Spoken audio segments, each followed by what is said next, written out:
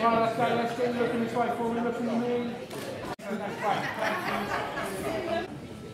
Right, good evening everyone and welcome to this meeting of the Local Liaison Forum for the Milton Road project.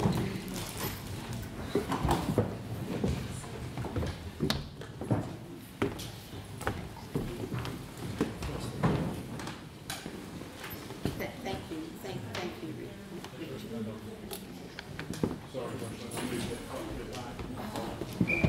Thank you. It's all the media's fault.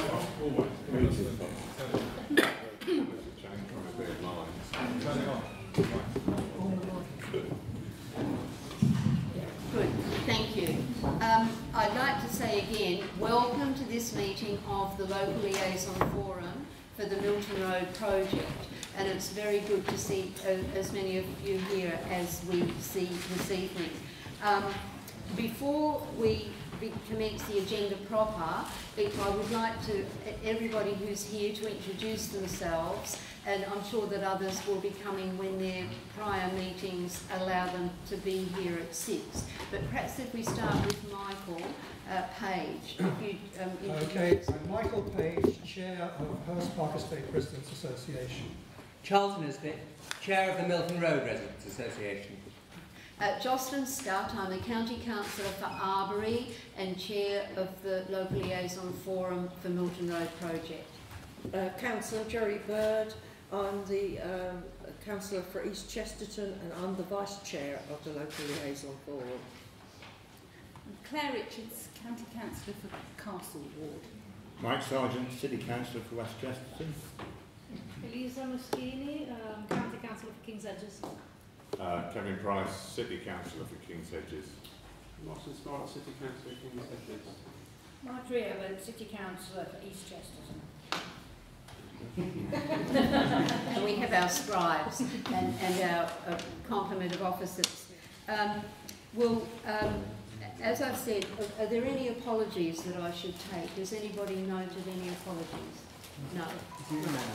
Oh, Peter Saris, Councillor Peter Saris is in the middle of marking, right, and you had, oh, Mi- Michael Bond has also apologised. Do you say, uh, Councillor? Anybody in that I was looking for. No, I, I tend to think often Councillor Manning comes, but comes late. He hasn't contacted me.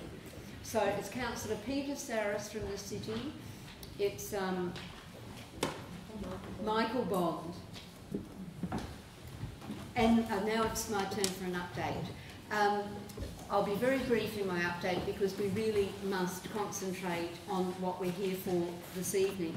I will simply say that at the last meeting of the local liaison forum, um, Chris Tunstall, who's here standing behind me, uh, introduced himself as he was new to the project and uh, from the point of view of coming to a liaison meeting and made it very clear that what is was being modelled was the do optimum plan that had been put forward by this local liaison forum.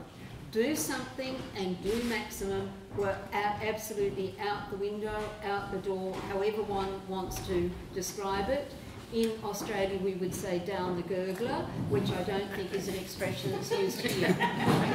but it, that means put. And what is now up here on the screen is do optimum with the modifications that the officers believe are necessary. Now, when I say modifications they believe necessary, people need to look at what's being said here to understand absolutely that there's no doubt that do optimum is the premier issue here, and that if there are concerns about modifications, then we need to have them articulated, and we'll, if we need to, fight back against the officers. But the point is, it's do optimum that's the basis. Um, the second uh, of my updates I wish to give is that there were questions that were asked at the last local liaison forum and they were put in writing. We responded to those and I distributed them to the uh, residents associations and I believe they've distributed them wider. And if people would like the responses in writing to those questions, then I'm very happy to forward them to whoever wishes that. And then the next point I need to make is that there was a concern in the questions about the July Assembly and board meetings and how it would be possible to deal with an extensive agenda at those meetings and give proper attention to our concern, which is Milton Road. Both the Assembly and the board have extended their meetings so they take up the whole day. And Milton Road project will be substantially a half a day of that. The other issues will be noted in the afternoon and we will have our Milton Road Forum, um, our Milton, yes, our Milton Road Forum resolutions dealt with by the Assembly and by the board so that they're in a position to respond effectively and so that we know what their response is and to discuss it properly. Um, the second point on this is that there will of course be a chance, an opportunity for questions, but there is, uh, I do have a, um, an outline of how the questions are handled by the Assembly and the Board and I'm happy to make copies of this available to everybody here. Um, that the point is, and I'll run through quickly, deadline for sending public questions is 10am three days before the Assembly and three days before the board. Um, questions are sent to the Democratic Services team and questioners are asked to limit their questions to no more than 300 words maximum so that there can be a really meaningful response to them. And because there is, although we're taking the whole of the morning uh, for Milton Road, there is therefore a limit in time. And I would just ask all of you who do want to ask questions at that, those meetings to please think about whether you can, if you're, there are a doubling up of questions, can you get together and make sure that instead of having 52 questions, for example, if it's possible to amalgamate questions in some way, that means that there's more uh, opportunity for a meaningful response from the board in their focus on our do optimum and it's being put to the board in our resolutions. So having said all that, um, I would now like to ask if there are any questions at this stage, um, but can we make them brief so that we can get on with the purpose of the meeting? Sorry, just a point of information, you said the democratic services team. I think you need to make it clear what you mean by that. Because probably mean the county council, I guess, services team. But you need to give an email address or something. Yes, there is an email address here in the document which we'll hand out, and it's the Democratic Services team at South Cambridgeshire um, Council. So just remember that, not the city nor the county, it's South Cambridgeshire. And now I'd like, we have two further members here, and perhaps you'd like to introduce yourself, Councillors Manning and Gawthrope. Uh, so I'm Councillor Ian Manning, County Councillor for Chesterton. I'm um, Nigel Gawthrope, I'm count, uh, City Councillor for um, King's Hedges. Thank you. Um, so, yes, th there was a question. Yes, Richard. So I think could you skip, the minutes and matters arising? But um, something I asked last time was about the 6th of um, July briefing, and you said that you would hold some talks with Councillor Lewis Herbert over whether or not that could be opened up to the public or not. Have those talks taken place, and what were their conclusions, please? Um, okay, that's one question, thank you. And you've drawn to my attention the minutes. Um, I'm just taking, taking a note of that, Richard. Um, You had a question too, Alex, Uh, because following it's up on from, the minutes. following up the minutes, I at the last meeting about enforcement of parking on cycling and cycle lanes and verges. I can't see it in the minutes. So that should be- Yeah. So we can look at Mr. Frank's videos as well. Yeah. Thanks, um, Alex, thank you, yes. Um, I should have gone through the minutes first. So we do have a copy of the minutes of the last meeting and the meeting at which the minutes were taken, but they were not presented at the meeting we held last time. So does everybody have a copy of those minutes and are they content with the minutes with the modification or the amendment that Alex um, has made? Yes. Am I, do I hear any dissent in terms of the minutes as they've been presented? Uh, yes, Chair. I think um, I've got a different document here. Uh,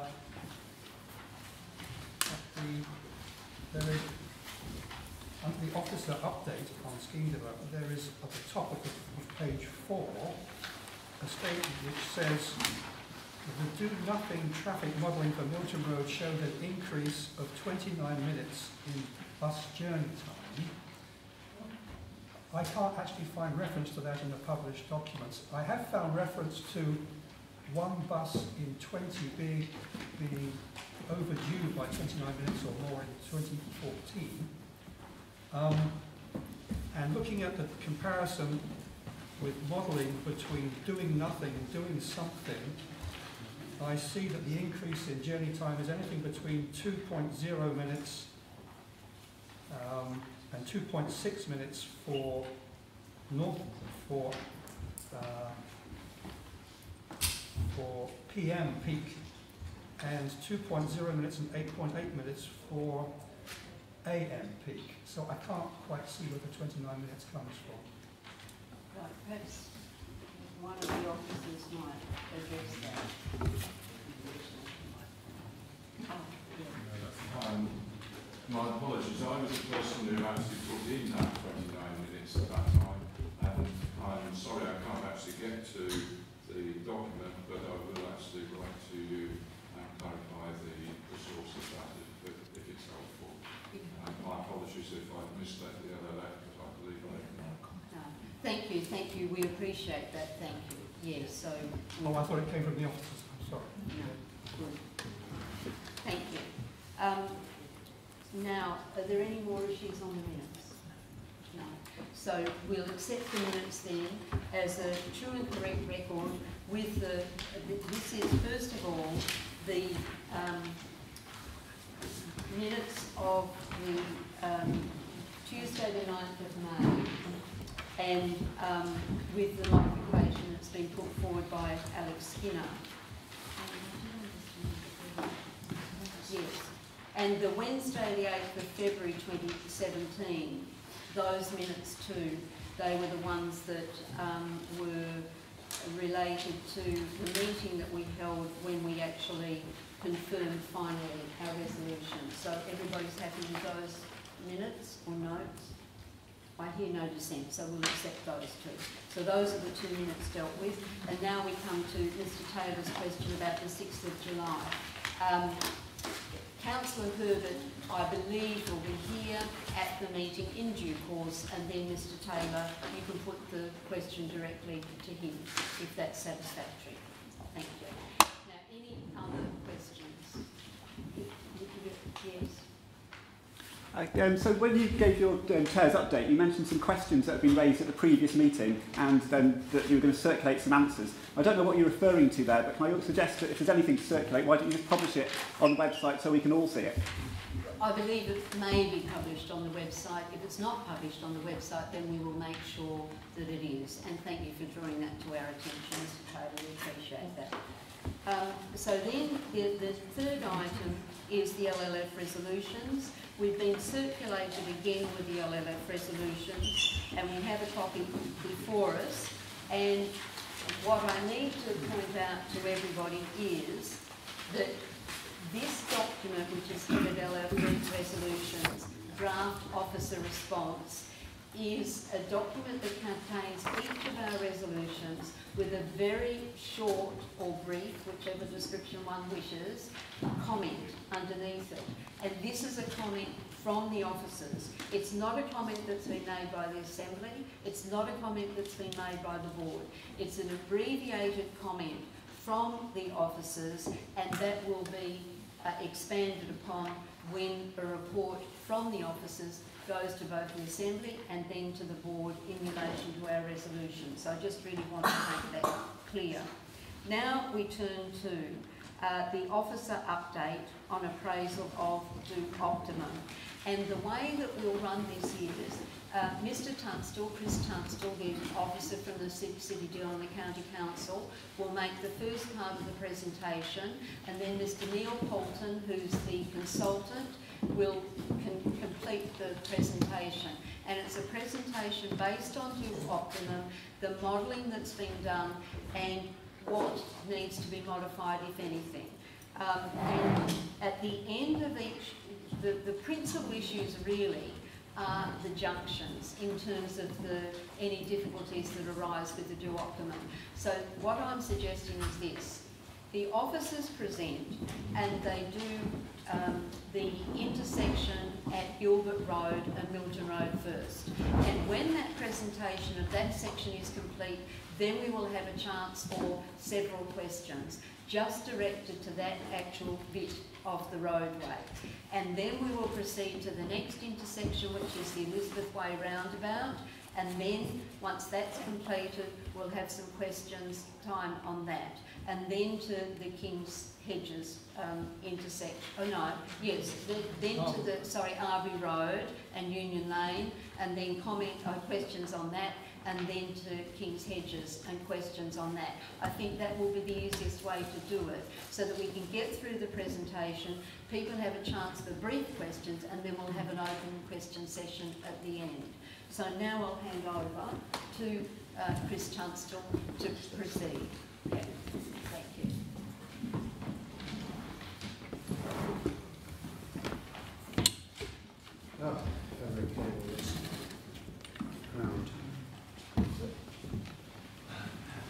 Okay, good evening, everybody. Um, as uh, Chair said, I'm Chris Tunstall. For those that didn't meet me at the last meeting, I'm the uh, Director of Transport for City Deal. Um, what I'd like to do is give you an introduction just to lay out what the principles were for the scheme and what we've been able to, uh, what we've taken on board in terms of board, uh, board uh, direction that we've had following your resolutions and so on. Um, as Jocelyn has said, there is no comment back on the resolutions yet, but obviously there were questions raised and the board has come back. Uh, Councillor Lewis uh, came back and gave us certain directions that we needed to go. Which was great. And can I first and foremost say thank you very much for the input, particularly from Hurst Park and from Milton and from uh, Camcycle, because it's been really helpful. Um, can I also say, what we've got here is a concept. What we'll be taking to the board is a concept. What we're not taking to the board is a final design. There is a lot of work still to do. So what I'm showing you here is not necessarily, in terms of the junctions and modifications, there's work to go through. And we're already talking about having meetings, uh, workshops with the LLF to talk about bus stop positions, to talk about the trees and other issues as we develop it out. So this is not, by any stretch of the imagination, the final. It is very much a concept. So if I can just start and go through. So just to remind you, these were the exec board's um, project obje objectives for Milton Road. And we have been given the money to do certain things with, and we have got to follow that through. Otherwise, the money at the end of the day will not be there. So there are certain issues we've got to adopt, and these were agreed as part of the City Deal Agreement. So what we're looking for on this uh, particular scheme is a comprehensive priority for buses. So it's bus priority scheme. But it also includes safer, safer and improved cycling and walking as well. Um, we are looking to enhance the environment. So we are looking at the urban realm, as I say, from wall to wall. So it's your boundary wall if you live on Milton Road to your opposite, uh, the opposite boundary wall. So we're looking at the whole of the road itself. Um, we are looking at improving the capacity of Milton Road in terms of sustainable trips, whether that be by cycling, walking or uh, public transport. We are looking to improve bus patronage because that's where we'll get the biggest modal shift from uh, in terms of people out of their cars. And as part of that, obviously, we're looking to reduce the general traffic levels. Okay, so then, following the, the earlier meetings of the RLF, um, the board came back, Councillor Herbert came back and said we were looking to maintain uh, a provision of grass verges and trees. I know the first scheme that you looked at was just basically uh, wall-to-wall -wall road and footway, so it was, as we call it, wall-to-wall -wall blacktop. Um, it is not that anymore, and hopefully you'll see that when we uh, start going through the presentation. Um, that we also looking not to provide double bus lanes, so we're not looking for a four-lane highway down Milton Road, so you do not have a four-lane highway. There are bus lanes down Milton Road, but they are not together. So you, you end up with a bus lane and two running rain, lanes uh, for traffic. And we're looking at removing the band turns. Those are the band turns at Gilbert Road, Arbury Road and King Hedges Road Junction. So we've removed those, all in line with the, uh, the Do Optimum. As I say, thank you. As I say, we did really welcome the feedback that we got back from you on the work that uh, you've done on this. Particularly in terms of what Milton Road residents, um, Hurst Park and Camcycle had done. So we've taken on board the Do Optimum design aspirations and principles, um, and those are the concepts that we've taken forward. However, we have modelled that, and it is fair to say we need to look at some modifications. And we'll go through that, but some of the proposals will actually double the queue lengths on um, Milton Road. So basically you will have twice the number of cars queuing now at some of your junctions than you do currently. That's not including, bear in mind we are looking to design for 2031. We're not just looking at traffic levels today, we're looking at 2031 when Water Beach comes on stream and the additional houses that start coming out of, of the additional uh, trips that start coming out of that housing development. Thank you. Okay, so just going back, what we've we've worked on in terms of the Do Optimum, we've looked at providing sufficient infrastructure. I have to be fair, bearing in mind, you know, buses were a key priority, we actually ended up with less bus lane than we've currently got. We've ended up with about 200 metres more bus lane than we've currently got. We've gone from 1,100 metres to about 1,300 and we've been working with the bus operators to identify the most optimal areas for providing uh, bus lanes. Again, just on one side of the road. They're not on both sides of the road at the same point. They are on both sides, but obviously at different points.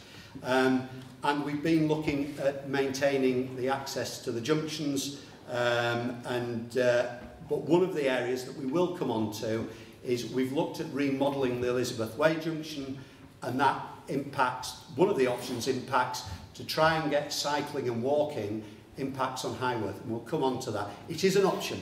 These are just options. These are not designs that are worked up and said this is what we are going with. These are options. It's getting the concept. Once we've got the concept, we can start working up the design and working that in with workshops with yourselves. Um, we've got a tree planting scheme along Milton Road. It isn't on the regular basis that you've got within the Do Optimum, because to be fair, we've taken into account all the accesses that are there. Because there are a lot of driveways coming onto Milton Road, and the regular planting, which to be fair was just showing a concept out of the Do Optimum scheme, actually plants trees in some of those driveways. So we've planted them where we can actually get the trees in, but it's the same effect. It just doesn't look as regular on the, on the drawings. Um, we've provided a junction solution that doesn't include the closure of Union Lane. We have some options on that, and we can work those options up. We have a preferred option, and we'll talk about that um, but we have other options there as well. And then we've looked at, uh, as I say, fitting all of this in with existing drive accesses. And that does affect some of the proposals, particularly around the Elizabeth Way roundabout. So I'll, I'll show why that is shortly. Trees. It would be disingenuous of me to say that this does not affect the existing trees we are doing a lot of work and the Do Optimum uh, solution has that work identified. It will affect the trees, it will affect the tree roots. We are looking for a wholesale replacement of the tree stock, but we are looking at that with putting trees in that mature trees, so trees that are three to five metres. Why three to five metres? It depends on the species that we're going for. But a lot of trees that were planted, not saying down Milton Road, but a lot of highway trees that were planted in the past were more like forestry trees, were not opportune for not the right sort of variety for an urban environment. So we need to get trees that are right for an urban environment. And you'll know the problems. You'll know um, footways that are lifting, on cycleways, cycleways that lift, where the roots are actually throwing up the pavement there. So what we're looking to do is put trees that are more suitable, but they are mature trees. We are not looking, well, semi-mature anyway, three to five metres. We are not looking for whips of trees. We are looking for uh, good trees that are in proper planting conditions that we will look to survive. But that will be a workshop that we will work through with you. And we've been talking to the city uh, tree people about that. Okay, thank you. So that's just a picture of one of the trees that's been recently planted. Uh, it's not actually on uh, Milton Road. It's, uh, when I find that, it's on Coldham's Lane.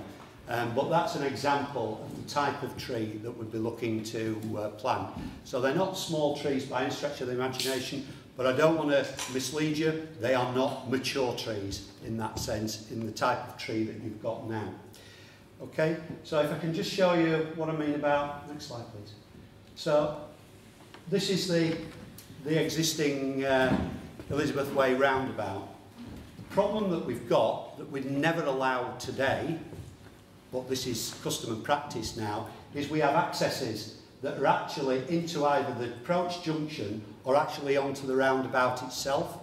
And we'll come on to that as to what issues that creates um, when you're creating particular uh, arrangements on your roundabout. So we've got to take that sort of thing into consideration.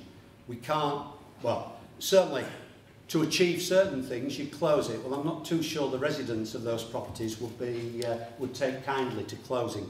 We couldn't anyway, but it is an issue we've got to factor in the other sort of considerations. Thank you. So we've got a, it is the driveways. There are a lot of driveways down and you can see certainly the bottom picture, there's a lot of uninformed highway uh, accesses. So they're not approved accesses by any stretch of the imagination. And certainly in the past, certain authorities have taken a very strong line on this where they've actually gone along and started noticing people, telling them they've un uh, an unapproved access, they have to get a proper access there. And there's a cost involved in that. One of the good things with this is we will go wrong and we will provide accesses wherever an access is required. So we're not looking at all. We'll do that as part of the scheme. So people that have been probably using uh, accesses in the, uh, in the past that haven't been approved, that are just driving over the verges or trying to use just one access and winding around the tree. Well, just as an aside, I've got to say this, as I came up the other day up to uh, the business park as I was coming back down, there was a car that was actually driving on the footway on Milton Road to access a verge. That's the sort of thing that we're getting. We will, not that we're going to accommodate parking on the verges, one of the questions earlier, um, but that's the sort of thing. And yeah, these are the same sort of people. I don't know whether they lived there or not. They may have done, they may not have done.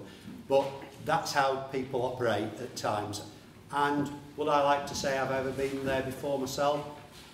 Well, I won't answer that one. Um, so next slide, please. So, the upshot of this is we're looking to improve the urban realm.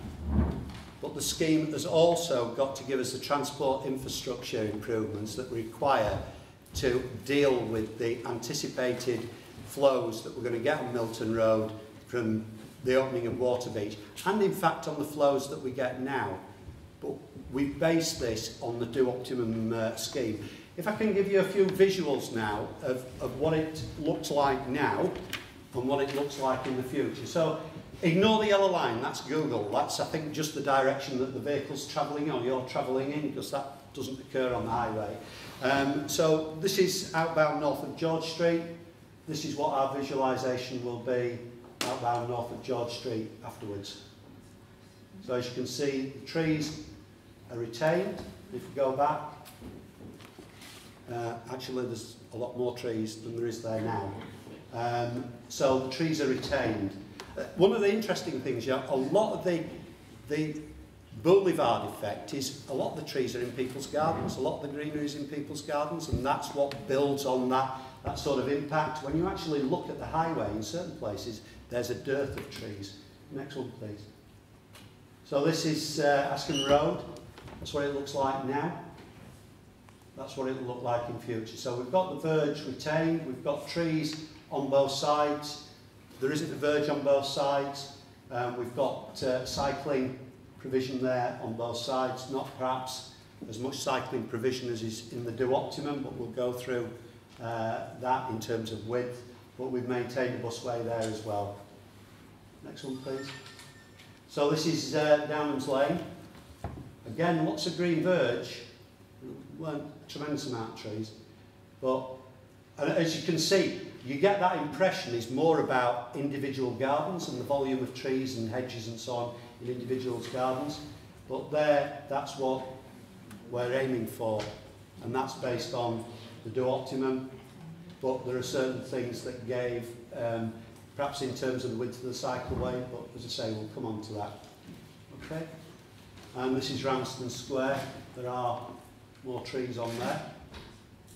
But that's what we're looking at afterwards. So I hope you can see we have tried desperately to keep the, uh, the concepts that you've got in the Do Optimum with, I think, personally, and bear in mind I'm a highway engineer, so probably I'm not the right person to talk to, um, but I think we've, we've retained, uh, we've, well, personally I think we've improved the tree line boulevard effect of those. But most of the issues occur around the junctions, so I don't want to mislead you. It is the junctions that we, uh, we need to uh, look at. So just on the slides, which we will make available, put on the website, that just gives you where the pictures are being taken uh, and uh, in which direction you're looking. So when you look on the slides, you can get a better feel for that. So that's the introduction. I would just re-emphasise, this is about developing the concept based on the Do Optimum. This is not a final detailed design. There is a lot of work still to do on this. We are going to work this through with yourselves to get the detailed design right. But obviously the key issues will start to come out when you start to look at the junctions. So at that point, Chair, I'm happy to stop and take any questions about that. And then if we could let Neil, as you suggest. Yeah. Now, does anybody have any question to Chris Tunstall on the presentation so far? Yes.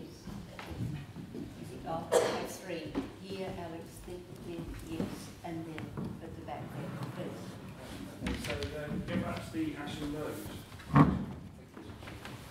There's a cycle lane that's not, yeah, this one. So this, it's not, the cycle lane is not, it's on the it's on the road side of the trees. I can see a divide there. Is that a painted white line or is that a curve? It's kind of hard to tell. It'll be a curb, the, the, the drop curve that we put in. So it, it gives that element of segregation, um, but obviously it's not total segregation.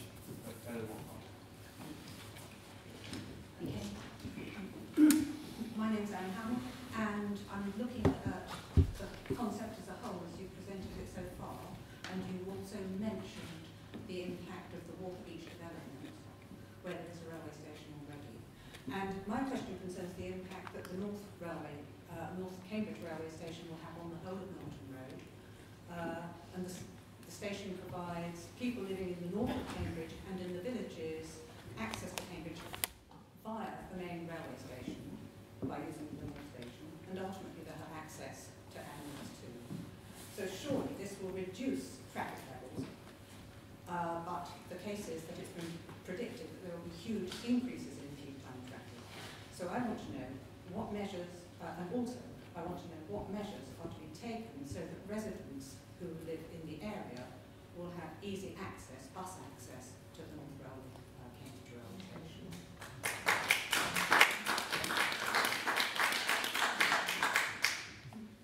We don't know what impact, I mean at the moment it is not running at the level, south, uh, the North Station is not running at the level uh, of usage that was initially predicted, but it's early days, it will, it will build up.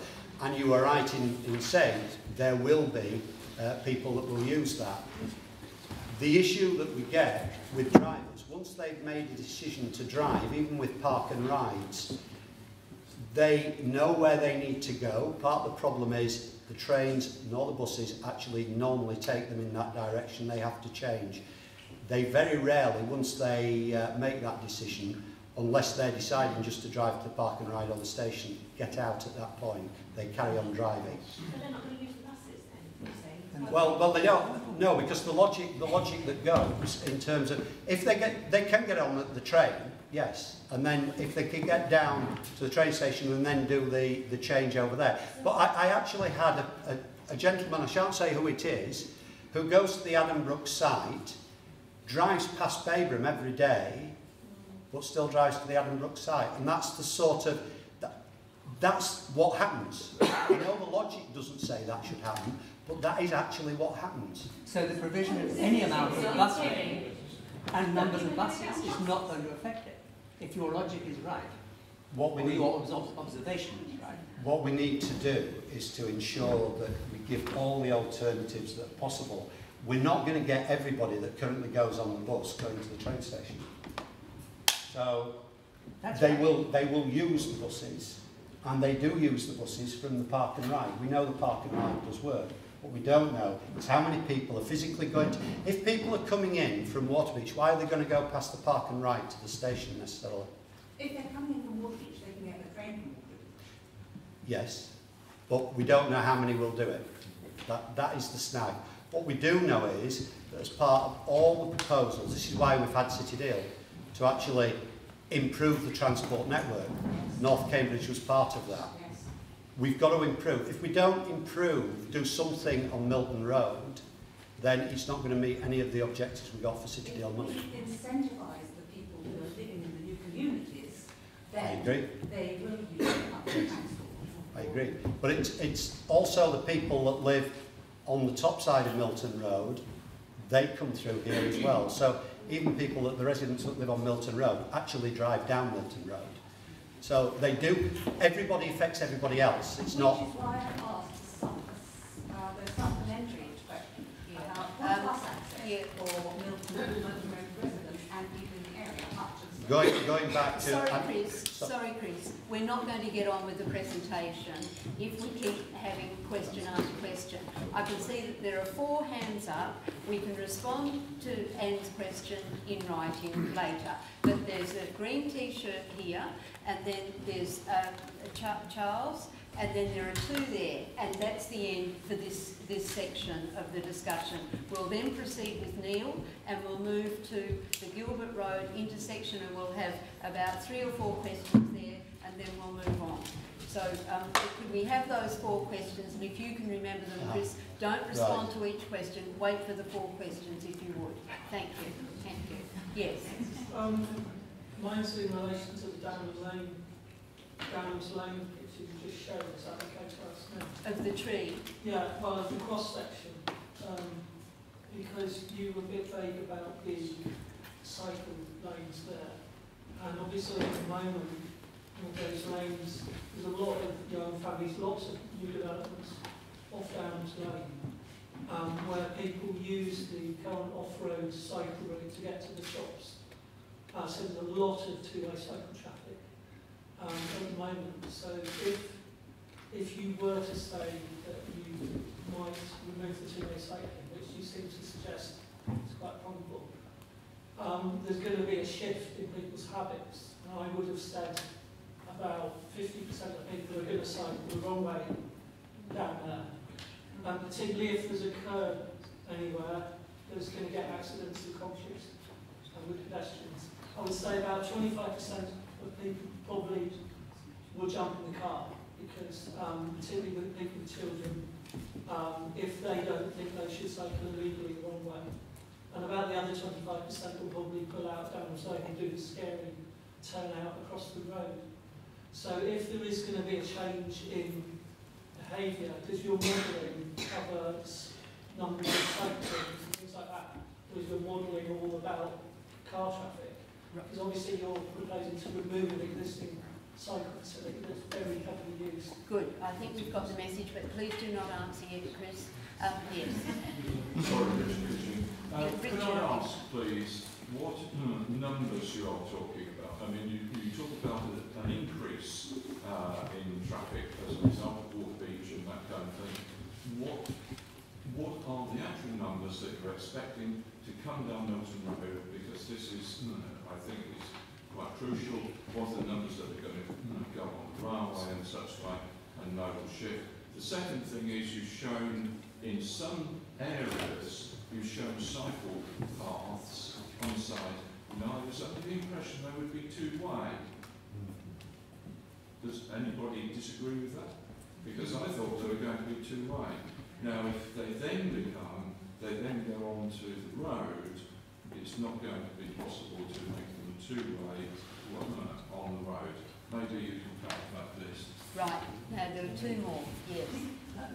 Um, my question, Wendy Clark, is, is about, um, you said that this is a concept of trees. A, it's a two-part question.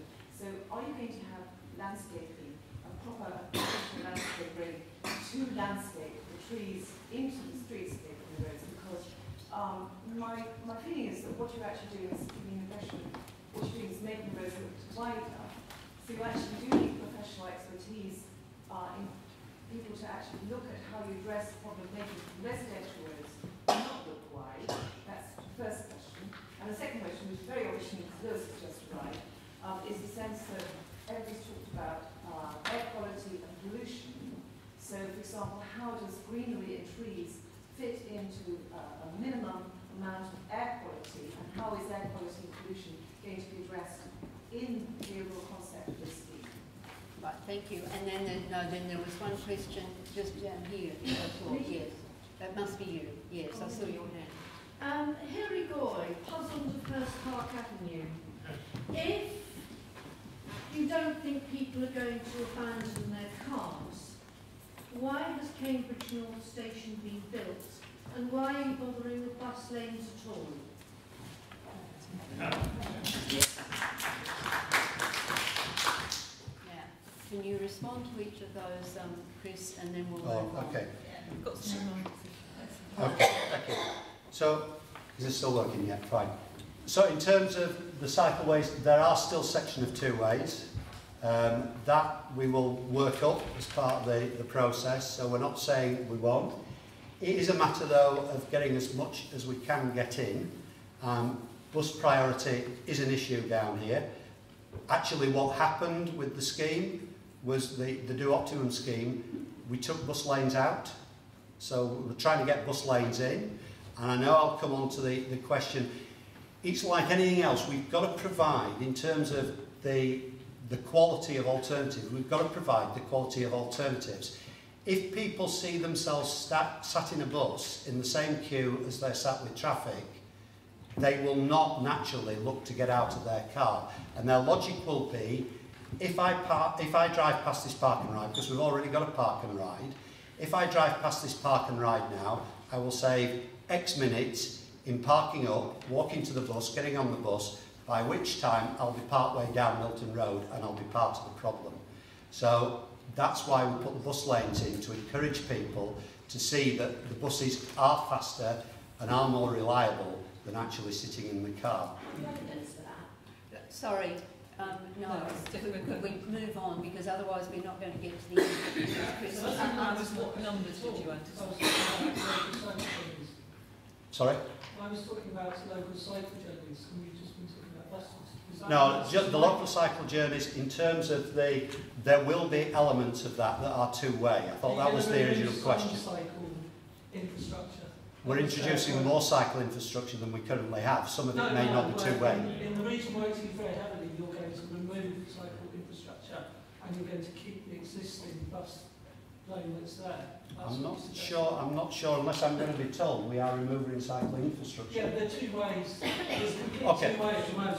Right. There is sections of two ways still on there. I mean, it's difficult to tell on that what width that is, but that cycleway on the on your right is the same width of the footway, and the width of the footway is two metres. Yeah. So is that a two-way on the right? Look, um, sorry, please stop here. If, Neil, if you're going to actually go through the road, then I think that we'll deal with it at that stage. Yeah, please move on to the next question. Okay. In terms of the modelling, the modelling's being done. You asked about water Waterbeach. We can only go on what is, and people have asked us, so have we got evidence for that? We use modelling tools. We use the same tools in determining when a development is being built, how many cars are going to be generated on that development, same way as we do for children, how many children are, are actually going to be from that development to determine how many schools, places we need and so on. And that is fed into the model. So it is a tried and tested. We could debate that all day, but that is the tried and tested way of dealing with it. Sorry, sorry, please. The next question was about the trees, the landscaping, air quality, pollution. So trees, as everybody knows, trees are a good air quality thing. The more trees we have, the more carbon it takes out the atmosphere, which is great. At the last meeting, I also mentioned we are starting to talk to the operators now about moving away from potentially diesel engined to maybe hydrogen and electric. So in terms of putting in green, that's good because it improves the environment. Sorry?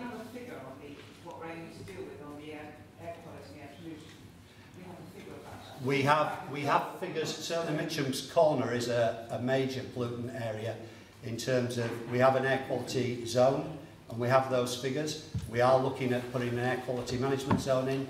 So whether we think it or not, there are areas that are well above the European standards. See, that relates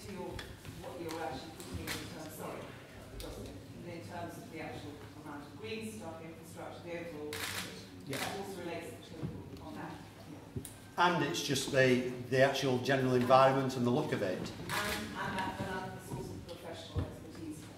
Yeah, the professional going- expertise sorry, will come from the City please, Council. Chris, please. We're going to have a workshop on trees. We're going to have a workshop on landscaping. We can deal with all this in the workshop. I think that's a better place to deal with it because then everybody gets a chance to discuss it. Everybody has a chance to uh, have responses and so on. Could we move on to the next question, which was that if people are not using or not using the North Cambridge station, what's the point of having it there and why are we having bus lanes if people aren't going to be People, people are using it, but people make decisions when they pass certain points.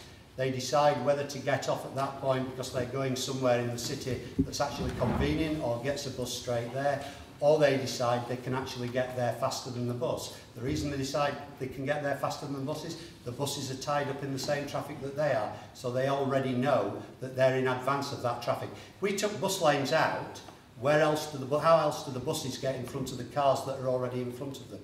So the idea is, is to get the buses further into the city and make that journey more of an acceptable journey for people. You know, why would anybody get out in a park and ride if you're going to end up in a bus that's behind everybody else that's just driven past the park and ride? Excellent. Many thanks, Chris. And then we move on to Neil Holton. And there'll be an opportunity for questions right at the end. Okay guys, so uh, my name's Neil Houghton. Um, I am the project manager from WSP on the consultant side. Um, many of you will have known me from the LLF uh, sessions that we all did together.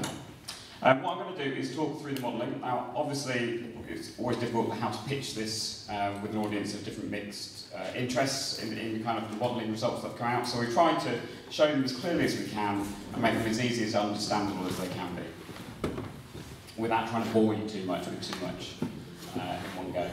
So let me just talk you through what we've used for the modelling for those that might be of interest. Um, so we've looked at the do optimum, as we promised, we've, we've looked to model that. So we've used what's called a Paramics model.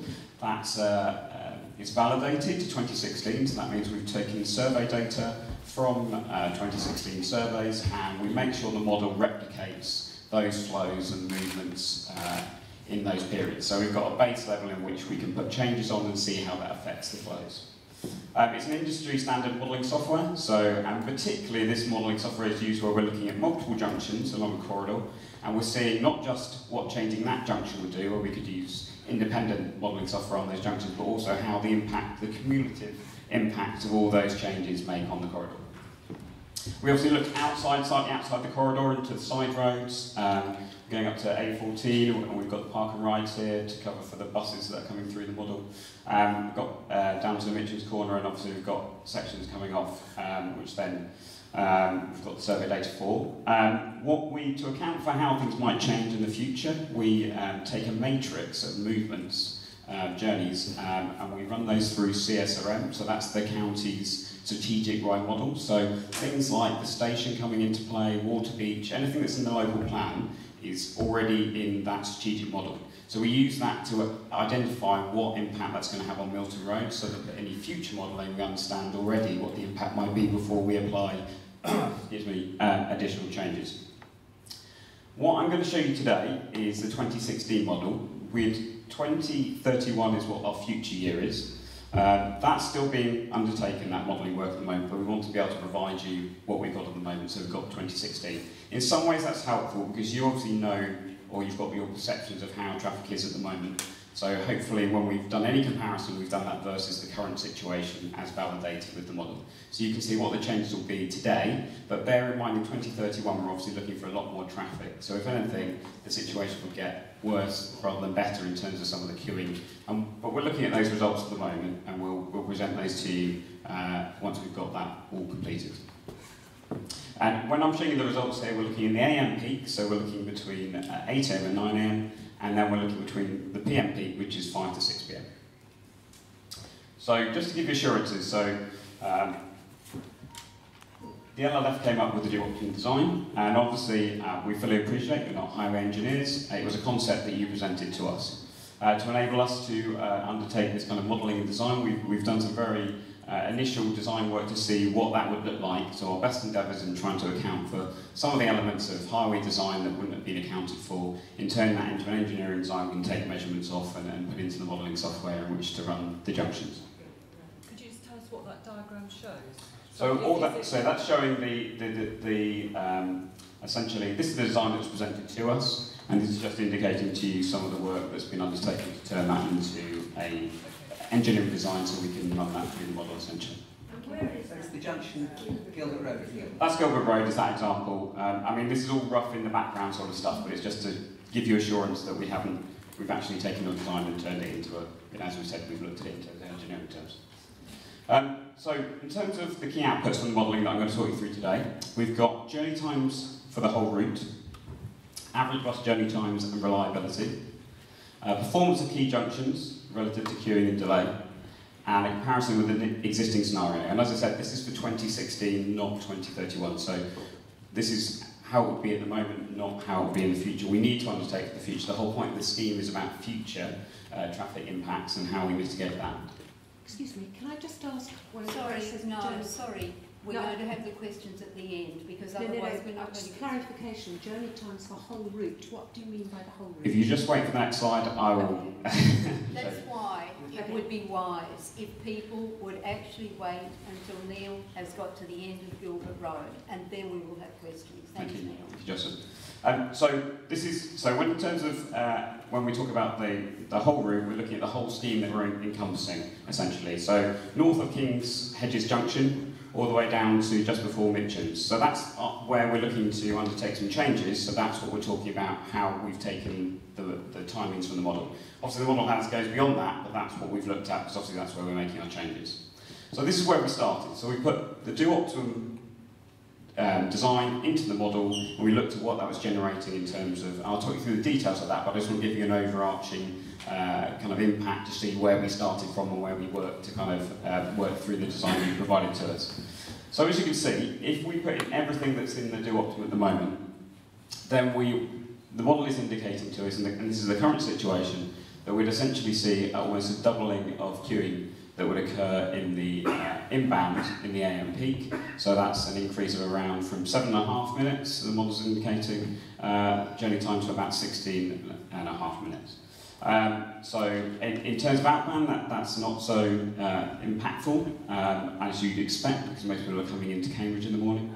When we look at the uh, PM peak, it's not so intense in terms of, you know, that spreads in terms of people leave work at different times, so it's not so intense in terms of the amount of people that are trying to travel uh, out of the city.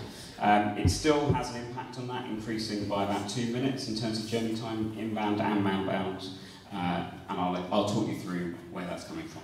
But that's where we started from, which made us think we've got to look at these junctions again. This is really where the junctions are having impacts rather than between the junctions. And we'll talk you through what we've done to try and take your design concept, but enable that to work in a highways capacity sense. Is this the buses, sorry? This is into all vehicles. Including bicycles? No. No, because that's not a, all motorised vehicles. Sorry, your modelling of bicycles is not on there yet. Where, when do we get into that? We do not have, there isn't the ability to, what we've done in terms of bicycles, just to answer that quick question, is we've, you may have seen the guys, they've been undertaking surveys along the route, undertaking the journey movements of cyclists at the moment, so we can understand the key desire lines and the kind of number of cyclists who are coming around the junctions, we don't have that data.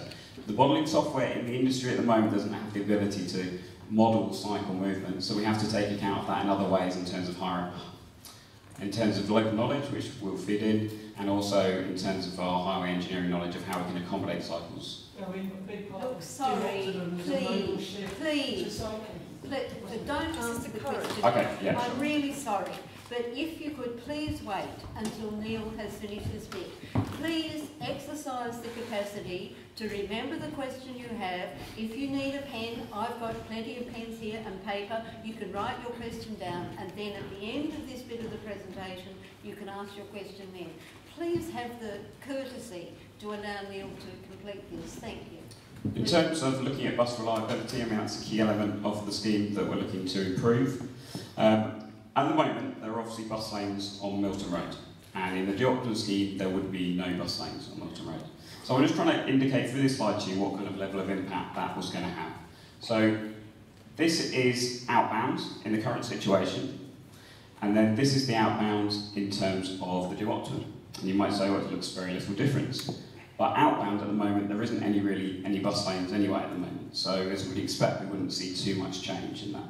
Journey times, average journey times has increased for leaving the city. This is in the AM peak, um, but otherwise not massive amount of change. When we start to look inbound, so coming into the city, the AM peak, this is the current situation. So we're seeing an average journey time probably around eight, nine minutes. Um, obviously, when we look at the do optimum with uh, no bus lanes in here, obviously with the demand that's coming through, suddenly not only do we get a massive increase in average journey time for that bus, uh, increasing uh, almost doubling, I'd say, we're also seeing this is the variability from the average. So we're seeing a massive variability on, on, on the journey time. So they're becoming less reliable and able to meet their timetable as they're coming down. So hopefully this indicates the importance of why, in the current situation, we do have bus lanes and taking them out completely, there really is, Chris has tried to say, there is no really any incentive for people to take the buses. Um, and, and therefore we won't get that kind of modal shift we're hoping to achieve. So in terms of reviewing this information, what we've gone, then gone on to do to look at is review and test alternative junction designs, which look to balance vehicle journeys along Milton Road while maintaining the principles do optimum. I'll talk you through those in a moment. We've identified optimum locations for bus priority. As I said, we need to, and as Chris has said, we're not really providing any more in terms of bus lanes than are currently there at the moment, but what we can't be doing is taking them away, so having a worse situation. What we've done is optimise where those are located, so we can't have them on both sides of the road, not four lanes of traffic, just three, but what we've done is place them in different locations based on where the modelling is indicated to give us an optimum use of that. Um, landscaping and tree planting opportunities, we've tried to maximise that where possible. Where there's elements, as the gentleman's brought up a number of times, where you prefer to maybe see more cycling and less maybe green space, we can accommodate that. You know, we can move some of these around. This is a concept, but we're trying to capture as much as we can of what the do optimum is. Right, so the key modelling junctions we're going to look at today are the key ones that obviously along Milton Road and affect uh, the movement of traffic. So that's Gilbert Road, Elizabeth Way, Arbury Road and King's Hedges. So, um, we started with Do Optimum, um, and that's a picture of the current situation. Now, when we looked at this in terms of how we could uh, turn this into something we can model, there's a number of key elements with the design already which, just in highway terms, can't really be accommodated. So this junction's been really brought in and really tightened up so you can accommodate these kind of cycle movements and also this green space. In reality, that kind of movement uh, wouldn't be achievable. Once we track that, it's just too tight for vehicles. So we've had to look at, at in terms of, so what we've put into the model is as close as we can to this design, but obviously we've had to make small uh, alterations so the modelling software can work in terms of movement of vehicles, it wouldn't be achievable. That's understandable, it's a concept that you provided to us, we appreciate that's just, it's, a, it's a, your thoughts on what you want to see and therefore we've, we've tried to do that. Um, there's a re-establishment of the right-hand lane as well, um, as well as the straight-on. Um, and signal staging, we've assumed, is very similar to the current situation because there wasn't necessarily any information on that, so that's a kind of more fair comparison. So, as we've seen, so red is the do optimum and blue is the current situation. So, in terms of on Milton Road, inbound and the AM, they're very similar. There's not much difference there at all. In the PM, in fact, the do optimum looks to be an improvement in terms of stuff coming into the city. Uh, a bit of reverse, I guess, a flip on that in terms of stuff coming out of the city. Uh, it's slightly worse for the do optimum in terms of the queue lengths, uh, particularly in the PM peak. And again, in Gilbert Road, we're seeing quite similar. Um, again, On the AM, there's an improvement with the Optimum, but in the PM, uh, there's this benefit compared to the current situation. So it's reasonably well balanced. You kind of expect some sort of movement around. There's not a massive amount of difference between the two between the current situation and the one being proposed. So what we've tried to do in terms of this is the design which we've, we've looked to do to, in terms of what we can accommodate really in terms of trying to match your design. So this is yours here and this is what we've, we've taken, we're putting forward as a concept. So we're trying to retain the cycling features as much as we can here. Um, there isn't the width that's kind of indicated here when you actually um, are on site, it's quite a bit tighter. Um, so in reality, in terms of when you've got the vehicle movements, you, we've got to push those slightly back. We haven't got the generosity we've got here in terms of uh, these elements. Um, in terms of a, a dedicated right-hand lane, we've, we've, it's kind of a half lane. There's the ability for people to do that and people to negotiate. Um, we, there is still movement here. We could look at, there's still movement that could be looked at in terms of accommodating how we, we shift some of this uh, space here. But in general terms, we've, I hope you can see, we've tried to, uh, with the bus lane obviously included in there, try to accommodate as much as possible. Um, there's still high priority there for pedestrians and cyclists whilst trying to improve the capacity of the junction. So in terms of that design versus uh, the do optimum versus the current situation, um, we're still maintaining some of the key elements in terms of the priority of cyclists and pedestrians, and you can see that, um, but we're getting a slight optimisation there from um, using that, that semi-right-hand turn rather than a dedicated. Um, and therefore, from the, the analysis, that one looks to be uh, the, the most optimised solution that we can come up with for this junction, which works in highway terms, works in safety terms, and tries to encompass the ethos of what's there in the, in the do optimum. Now, does anybody have questions or issues to raise in relation to the Gilbert Road intersection and what's been said? Uh, Yes. do you quick, quick, Paramics only models car flows, doesn't it? It does, yeah. But there is. Well, and, and bus, you can dedicate it, but it, motorised vehicles, yeah. But there is a version that models pedestrian flows. There's PTV do a software that looks at pedestrian flows, um, but they're not interchangeable in terms of you, the site scale of the model. Usually you'd use those for kind of station in, in terms of if you were designing it. Yeah, uh, a stadium sort of thing in terms of modelling pedestrian uh, movements. Um, so what all we do is what we've done, which is go and take up-to-date survey data of where those movements are, and then as part of the process, when we go further into the more detailed design, we'll have obviously uh, sessions with the LLF, we'll look at the kind of concept we're putting forward, and if it's a question of, you know, on this section we need more two-way cycling, and we're, we're you know, willing to accept we'll have less of a dedicated uh, pedestrian element on there. We, what we've shown in that Downham's lane is obviously a dedicated pedestrian and a dedicated cycle. That can be combined into one massively shared area. Um, there's a, um, also, when we've looked at the um, cross sections, we've designed around the minimum width, and often there's there's a lot more width to play with. So we haven't looked at it at the moment because we're not that detailed design, we're at concept stage, so we've got the ability to accommodate that as we go forward. Right. Now, the, I've got, uh, well, five questions now, we'll stop at that. Mike Sargeant, Hilary Goy, Anna Bradman, and I should have welcomed Anna Bradman, who's the councillor for Milton. Milton. County Council for Waterbeach Division. And Waterbeach, that's right, yeah. And so Mike, uh, Hilary, Anna, and then there are two here. Um, yeah, well, one and then two. Do I wait till they're all been asked? Yes, Yeah. let's, let's do that if we can. Yeah, so please go ahead. So Neil, on this, you don't actually have any data about bus times and the impact on bus times through, through the, um, through the junction. Um, and just looking at it, doesn't seem to be much difference between all of the options, um, the way you put it across. So do optimums looks just about as good as your modified do optimum. I'd like you to comment on that. Right, Wait, was it Hilary or Anna? I, I think Hilary Hilary first. Um, I'm very concerned about the removal of the dedicated right-hand lane um, at Gilbert Road.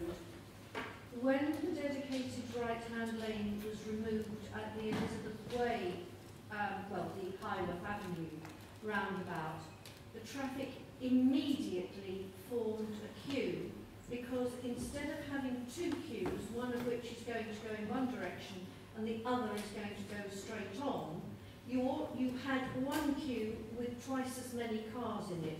How can you justify removing the dedicated right-hand lane? It will cause more jam.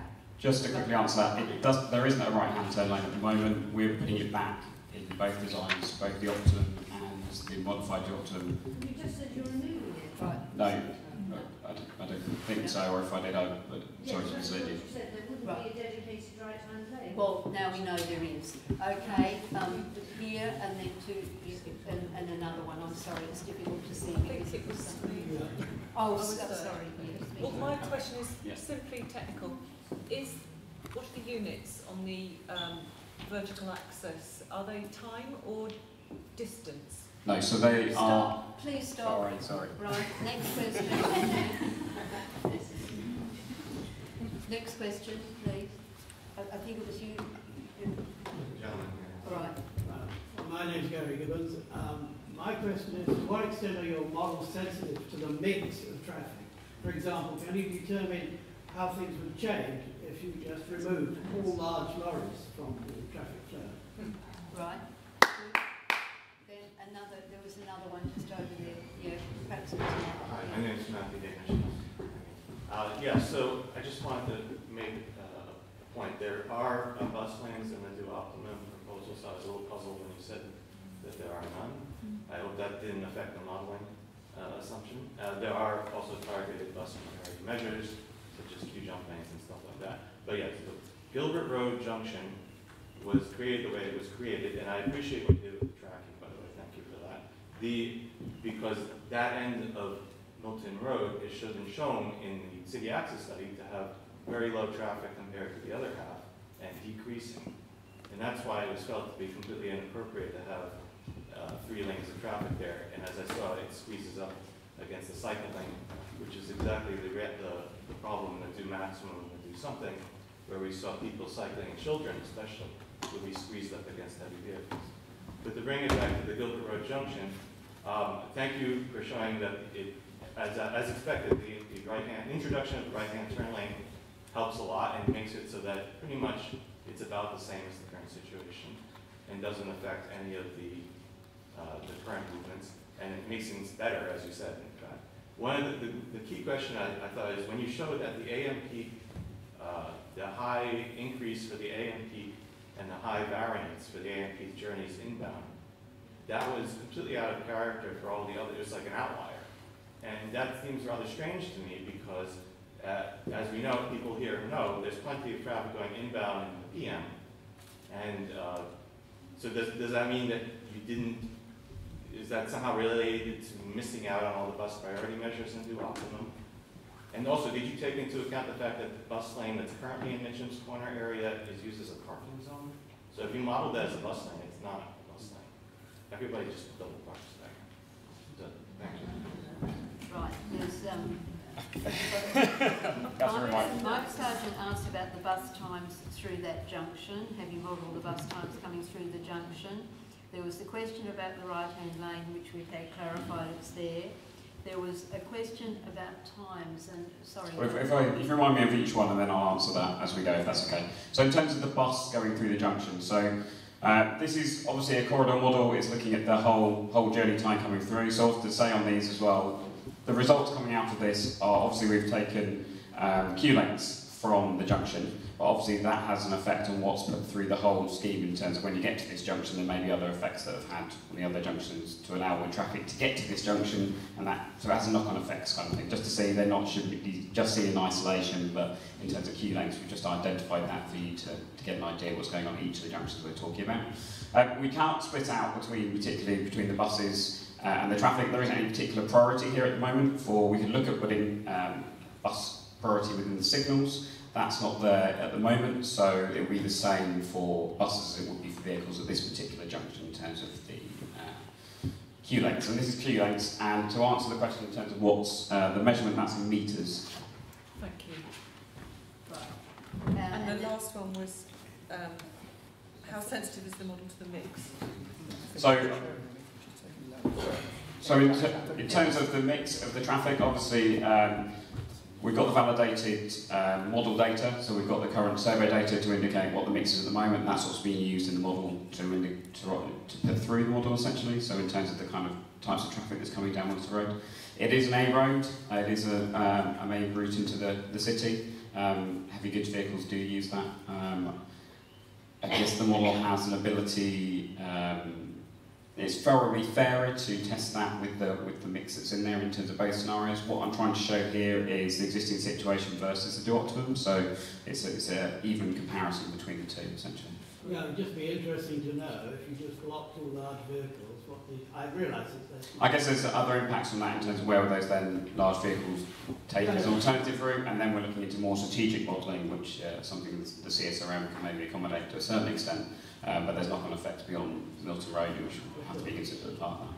And, and then there was Matt's question about whether it not taking into account that there were... Yeah, so apologies, that's my mistake for in terms of speaking. So what we've taken the do optimum as it is, so we've got the bus priority where you've placed it, and we've got the bus lanes where you've placed them in the model. Um, so those elements are in there, that we haven't uh, missed those out. Those are the part, and when I get to some of the junctions where you've clearly shown the bus priority, so at Union Lane, oh, I can explain the impact that has. Um, Uh, I just was curious, uh, the, both the, um, the strange outlier of uh, the AMP compared to the others, because So I'm the- other times too. So the outlier, I'm not sure what you mean by that. outlier. So these are these are. on the, the overall slide, we were back further. It's the overall journey. Oh, you mean from the buses? Uh, it was, you had a diagram scatter? Yeah, scatter. Yeah, scatter. Whisker diagram, yeah. And, and then the other one. So there wasn't an outlier. So that, that was showing you the dot was the average journey time uh, in the models. The models run 10 times. We take the average of that. That's the average journey time. So that indicates with the do optimum that was increasing bus journey times, almost doubling it.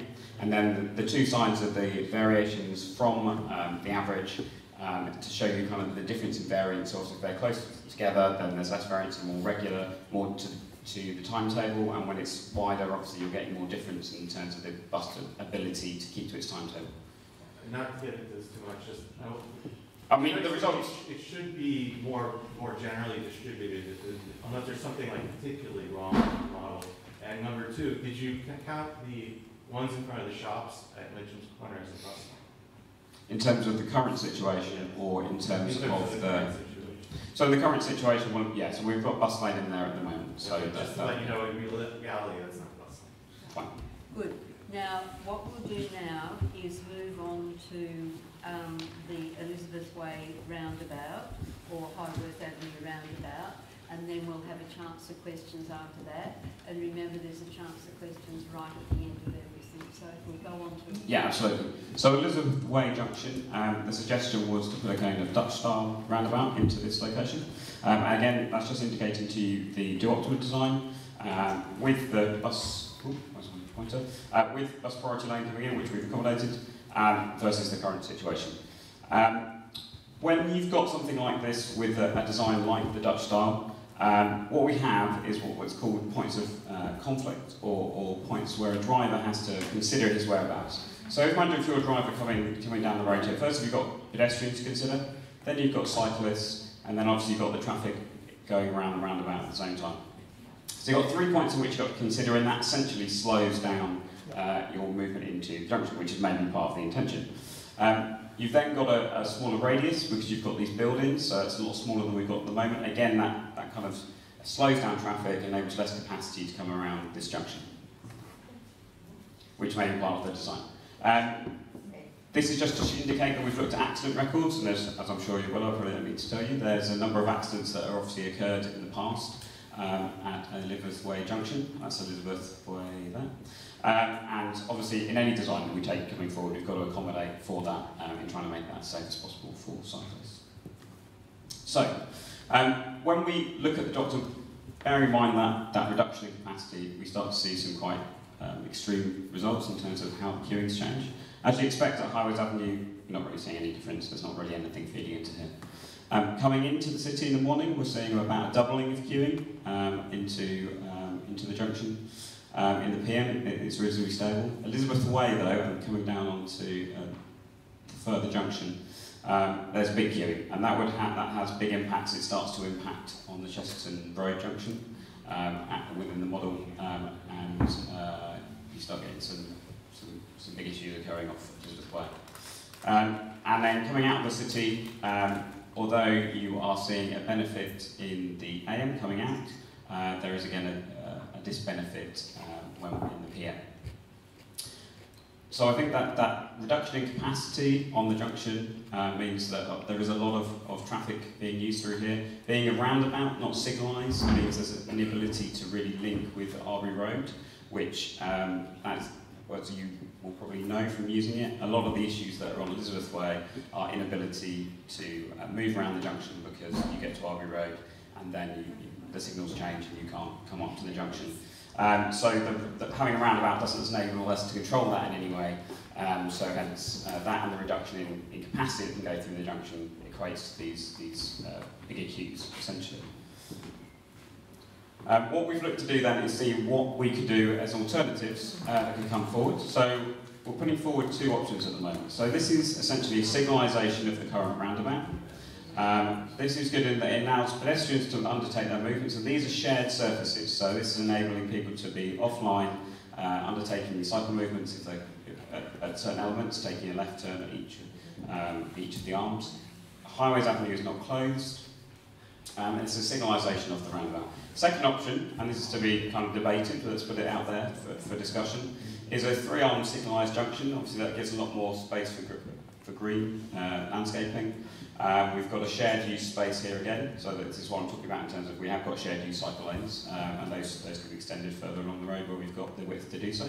Uh, we've got dedicated um, offline cycleways, we've connect, connected all the uh, dedicated pedestrian crossings that are there. So we've looked at two options to see what difference those would have in terms of when we model those compared to uh, the option that's been put forward to us.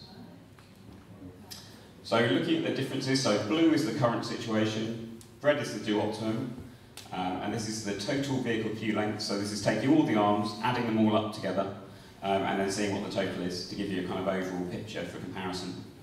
When we look at the do modified, so that's a three-armed junction with the closure of uh, Highworth Avenue. Obviously it's slightly better, um, but it's still, what we're doing is we have an all red phase, obviously to allow all those pedestrian movements. So that still takes quite a lot of capacity out of the junction, um, so it is going to be, if we went with something like that, it would still be worse than the current situation.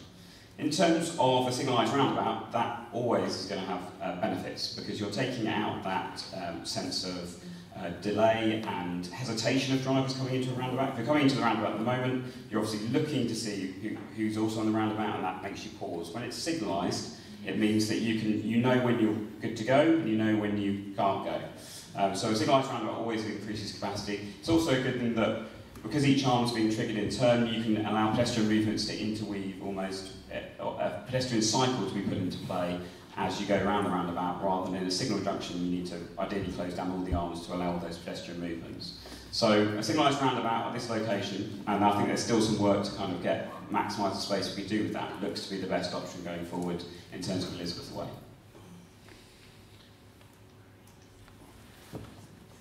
Sorry, excuse me, can you just go back to the previous diagram, just so we can remind ourselves which is? Yes, sorry, so... Sorry, have you finished on um, the... I have, yeah. Okay. So modified to optimal signals and signal roundabout. So the yellow is the signals and the purple is the signalised roundabout.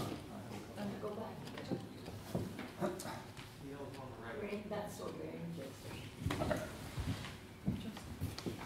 Sorry, could you um, go back to the previous bar chart and just go slowly through what those colours are, please? Okay, so blue is the current situation. Red is the do optimum, so the Dutch style roundabout. Yellow is a three-arm signal junction. Purple is the signalised roundabout, so not um, too different in design, except we have got shared dedicated cycleways on all sections of the arm. Um, but again, because we've kept the roundabout the size it is, that gives uh, limited ability to change too much around the junction, um, especially with fitting signals in, but it does give you that optimisation in terms of, of that particular junction. Good. Now, I can see a whole lot of hands. Um, if we'll, we'll have it in threes, then I think that's probably easier. And if, then um, let's have somebody who hasn't asked a question right up the back there, and then just um, no, here, yes. So we'll have those three, and then if you respond. Okay. So, um, given that the aim of this exercise was to increase, prioritise bus transport? Uh, sorry, given that the the aim aims. of this exercise, one of the ex, one of the aims was to prioritise bus transport to improve transport into Cambridge. Am I right in thinking that the signalised roundabout, in other words, the purple bars, is the only solution that meets those criteria, actually? Right, stop there. Sorry, yes, and here? Yes, yes. How can you justify saying signalised junctions improve the flow of traffic when on the Newmarket Road junction there, when the lights are not working, the traffic flow is actually very high, much higher. And if you do your uh, Optima or Plan 2 for the Elizabeth Way Junction, you will be sending the traffic out onto the Arbury Road and then increasing the dra- problem at the Arbury Road junction. Yes. Right, good. And then there was somebody here that I indicated, I'm sorry. If, if you remember who you are, I that would be the better thing. It's easier for you to remember who you are than me to remember. There was somebody at the back there on this side. Well, somebody else then. Who else? Yes, in the front here. Um, the signalised junction, I don't understand how a cyclist going up Milton Road, how they get across the junction. Right, so those That's- three. Oh, sorry, have you finished? Sorry, beg your pardon. I didn't mean to interrupt. No, I finished. Good. Yes. Sorry, just, could you just remind me, The first Um, one was... the- did mine like a goldfish clue. Prioritising bus transport. prioritising bus transport uh, through through the, oh, so the being the only yeah. So um, in this particular junction, um, we've got to look at the corridor as a whole, and um, at the end of this, I'll give you the statistics I gave you earlier in terms of how bus journey time improves. So we've got to look at um, how the bus priority works across the whole corridor. At this particular junction, for vehicle movements, which would include bus movements, um, the best optimised solution would be the signalised roundabout at this particular location. But the whole point of the Paramics model is to look at that in terms of parallel, in terms of how it works for the junctions, um, particularly in this one, how it's interacting with um, Arbury Road Junction, um, and uh, which is what we've been able to um, look at with this type of modelling. Now, the next question was that how can we say that signalised junctions actually improve traffic flow when we know that apparently on Market, Newmarket Road this is not the case? So uh, every junction is, you know, obviously uh, has to be modelled in itself, um, but in general terms, uh, if you've got a roundabout, as I, as I tried to explain, in terms of a roundabout, if it's uh, very busy roundabouts Elizabeth Ways, and you've got that drivers coming in and having to obviously stop, look, accommodate um, who's coming on the roundabout, that that puts in certain delay. When you signalise it, enables people, particularly in a busy peak hour situation, enables that to be regularised, and those arms which need more green time, more more access to cross over the, around the roundabout, that ability. There's a bit of easy ability to manage it, which therefore results in greater capacity. Um, that's uh, that's generally the case, but obviously you have to look at each junction, hence why we've modelled a number of different situations here to see what affects at this particular junction, based on the flows we've taken from our survey data. Good. And then how do cyclists get across the junction? Okay, so in terms of how cyclists cross, in terms of, I think it was in terms of the art, the... It's the middle one. The middle one, okay. So, sorry, I don't what's going on my laser, but, uh, oh, there it is, there it is. Um, so we have got crossings so on, on each arm here, so each of these crossings. So you either, if you were coming up, say Elizabeth Way, and you wanted to take a left turn, you could just stay offline. So this is a shared pedestrian cycle service, and you could carry on onto Milton Road. Equally on all these uh, coming into either of oh, these Sorry. arms. In terms of if you want, if you want to go kind of right around the junction, either you have to sit in the current situation. Obviously, we could potentially put priority for cyclists, give them a head start, but they would have to be on the road, or they would have to undertake each crossing at a time to get around the junction. But that, what we're trying to do is we're trying to balance all different users at this junction. Sorry. Obviously, then an option like this provides more priority for cyclists, but it's trying to accommodate that with what's there in the existing situation. There are limits to what we can put in unless you get the situation, this very busy junction where you limit vehicle Sorry, capacity too greatly. I couldn't hear what you said because you talked so fast at the beginning. If I'm coming up Milton Road, is there Yes. a priority for a cyclist in front of that? Is that what you're saying? The, we could look, as I say, these are concepts at the moment. So in terms of, yes, we have the ability, it doesn't, it's not showing out in there, but because we're signalising it, there would be ability to give cyclists a head start at each of these junction, lo- at each of these signalised locations. Because at the moment it looks like the cyclists go up Highworth Avenue, uh, which they don't want to do if they're going So, so you're talking about, where is the, where are you talking about cyclists coming from up? Milton Road. Up Milton Road, okay, so they, okay, so if they want, to, yeah, so if they want to, if they'd either, they'd have to come, if they want to go straight ahead, they can either take the shared surface, uh, on Highworth Avenue there isn't a lot of traffic, so we've not put a dedicated crossing here. There's not a lot of people, as the, as the uh, data shows, there's not an awful lot wanting to go up Highworth Avenue, so therefore you'd undertake to here, take a crossing yourself and then get back into the shared surface. But as I said, these are concepts, it's, it's about looking at where the signalisation of this roundabout works. We can go into more detail, there'll be sessions to work into looking at the broad concepts of what we're going to do with these junctions. Are we turning it into a three-arm signalised? Are we doing a signalised roundabout? Are we doing a Dutch style roundabout? Are we leaving it as it is? That's what we're at the level of trying to accommodate at the moment. Um, now, I, I see three, one, and three at the back there, then, uh, oh, you've had a couple of goes, so over the back there, if it's somebody who hasn't had a go, and then, um, did you have a question, Alex? No, and then, then, if this is a, no, I need to have three people who haven't asked, asked a question earlier. If you stand up, if you, please stand up. If you want to ask a question, could you please stand up? That's the best thing to do. Yes, yes.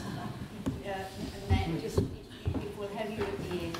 The, these, these two. And is there somebody else who hasn't asked a question? No, well then we'll have Matt and Richard and Mike, and Mike. So please, yeah. Yeah, yes, please. Yeah, all right.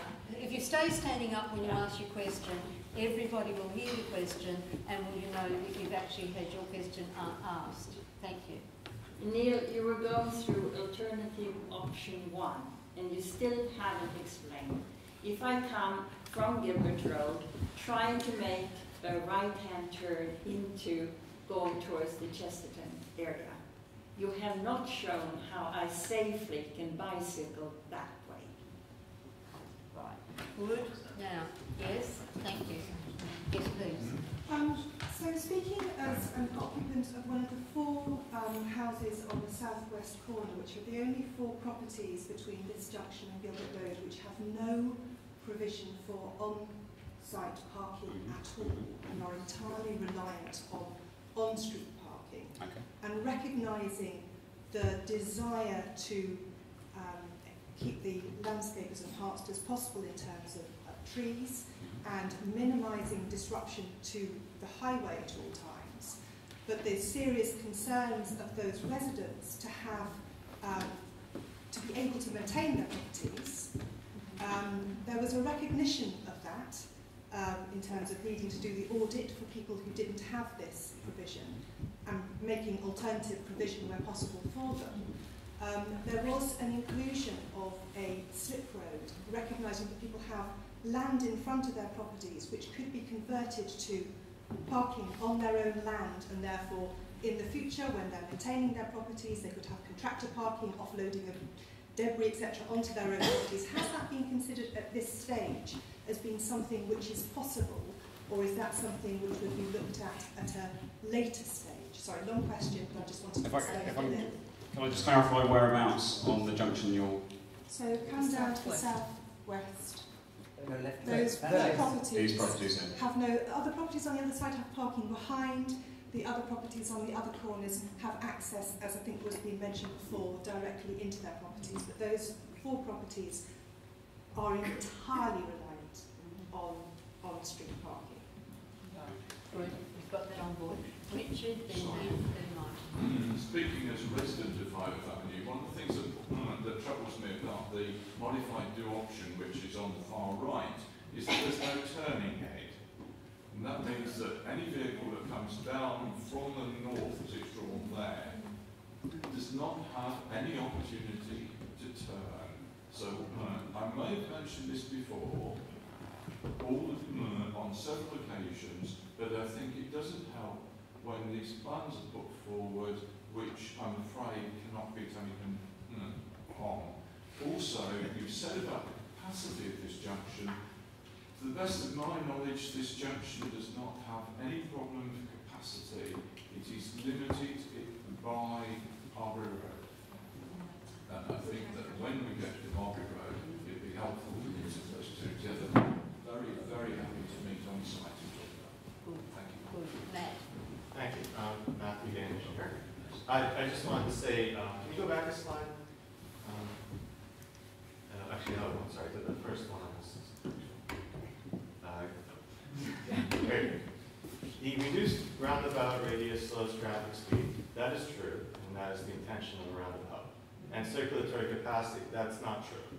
In fact, reduced traffic speed increases circulatory capacity, which is why these are used on the continent very successfully. That's why I chose to design this roundabout based on the Dutch CROW Manual, Design Manual for Streets.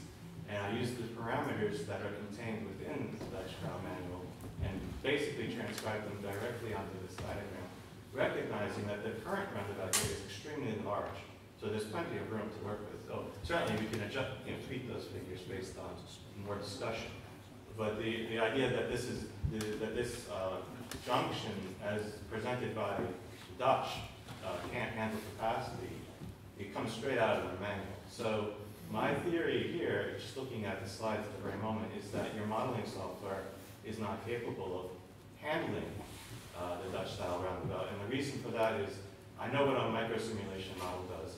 It tries to simulate the movement of individual cars, which means it has to have an understanding of how drivers uh, behave and how each car behaves. And it seems to me that in this case it's not quite understanding how drivers handle a roundabout. These types of roundabouts are rated for 25,000 cars per day, and they're used in the Netherlands, and there are ways to increase their capacity if necessary. I would love to discuss this further.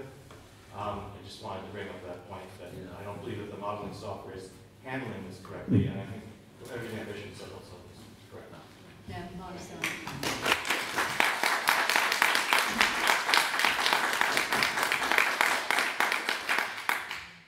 Yeah, if you go forward a couple of slides. Again, and again. Right, on that one, sorry, Matt. Yeah, so I was surprised that you were talking about shared um, cycling and pedestrians um, around uh, option one, because I think one of the things that came out very strongly from the workshops that we did want segregation between cyclists and pedestrians. Can we please make sure this isn't the final option, if you like, because I think we do need segregation. Um, and uh, that needs to be built into anything we do. Good. So there's four. There's uh, Lillian Rundblend asked about. If, if I can just tie in Max and is it Richard? Sorry. Yes. Yeah, Richard together. Um, Richard said that yeah, the capacity isn't an issue at this junction. It's to do with Arbury Road um, junction. Um, I think the interconnection and working between them is key. I agree. And therefore, if we have a roundabout with no signalisation on, as the Dutch style, we've got no ability to control those two roundabout two junctions together. So I think if we obviously have some ability to signalise this junction and then have that working smartly with the Arbury Road junction, that gives a great ability to deal with traffic issues at this location. Um, so just think, what was the other? Um, there was the issue about cycling access. Or is it- In terms of, oh, in terms, yeah, just to say to, for the shared, obviously when I show you at the end of this presentation, um, when we get to that point, um, there are lots of elements where we have got um, dedicated pedestrian, dedicated uh, cycling, segregated. Certain elements, like a here, we just don't have the space to do that. So there has to be some acceptance that in some of those areas where we're trying to accommodate all road users, there will be some shared services. And in some areas, obviously, we've heard how people would like to have shared services. So I think you have to look at, and there'll be ability to do that at the end, um, to look at the scheme as a whole rather than obviously we're focusing down at the junctions on this element. But we've taken on board what said the LLF about segregation. We've tried to accommodate that as much as possible. Right.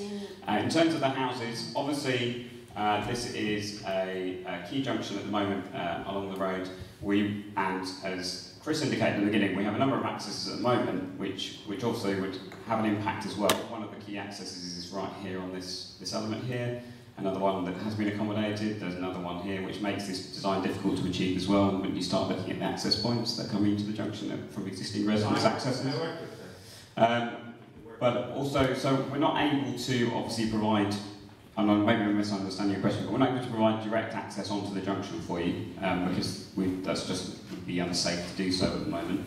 Um, in terms of how we could accommodate you elsewhere along the scheme, that is something we're happy to consider as we go forward in the design in terms of having an, an areas potentially that you, you, uh, you've got access to through vouchers if it's parking scheme, whatever. We could look, certainly work with you as a resident in terms of how we can accommodate that to make the situation hopefully no worse than it is at the moment, um, to make improvement, but we can't uh, in, start putting access into a key junction. No, I appreciate um, That, was, that wasn't even within the design. It wasn't we appreciate the health and safety issues Sure. about providing access to. a- Yeah, we're happy to still consider trying to find a solution for your issue with that as we go forward. Uh, we've got three questions here now. Michael, Just um, one- But there was a point that wasn't I'll answered. just answer that question. Oh, sorry, yeah, sorry, there's something. Could you please respond to Matt's question about the ability of the model to, to correctly model the capacity of a Dutch-style roundabout? Because to me, that seems to be critical. Yeah, sure. I mean, we all we can. The software that's out there at the moment, all we can do is best look to reproduce a Dutch style roundabout within the modelling software as best we can. Um, it, it doesn't have an ability to, to drop in a Dutch style roundabout per se. Uh, we have to look at the best guidance we've got available in terms of Transport Research Laboratory, uh, look at that, look at what we've got with our modellers in terms of best replicating the kind of stuff that's been expected to be seen, and then put that into the modelling to best replicate it. There, there isn't this, you know, there isn't a software package out there that, that accommodates um, this widely used in the UK uh, transport industry. Um, there may be in, in, in, if you go to Holland, but Please go to Okay, I, I can't take a um, software package out with rules of um, how cyclist priority works with cars in Holland and, and put that into here and get expect that to be signed off in terms of health and safety. why not when we've got cyclists?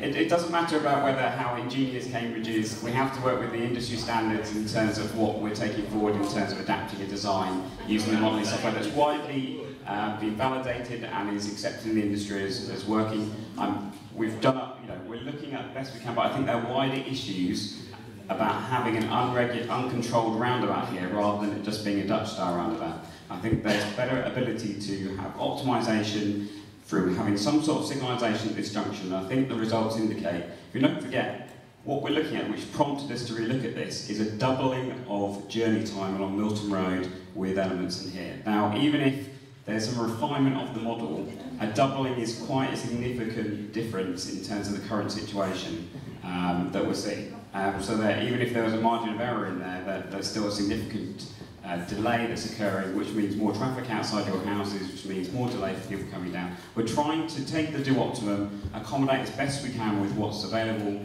uh, to come up with a solution that, that maintains the ethos, essentially. I think you have to look at the scheme as a whole, which when I get to the end of the presentation you'll be able to see.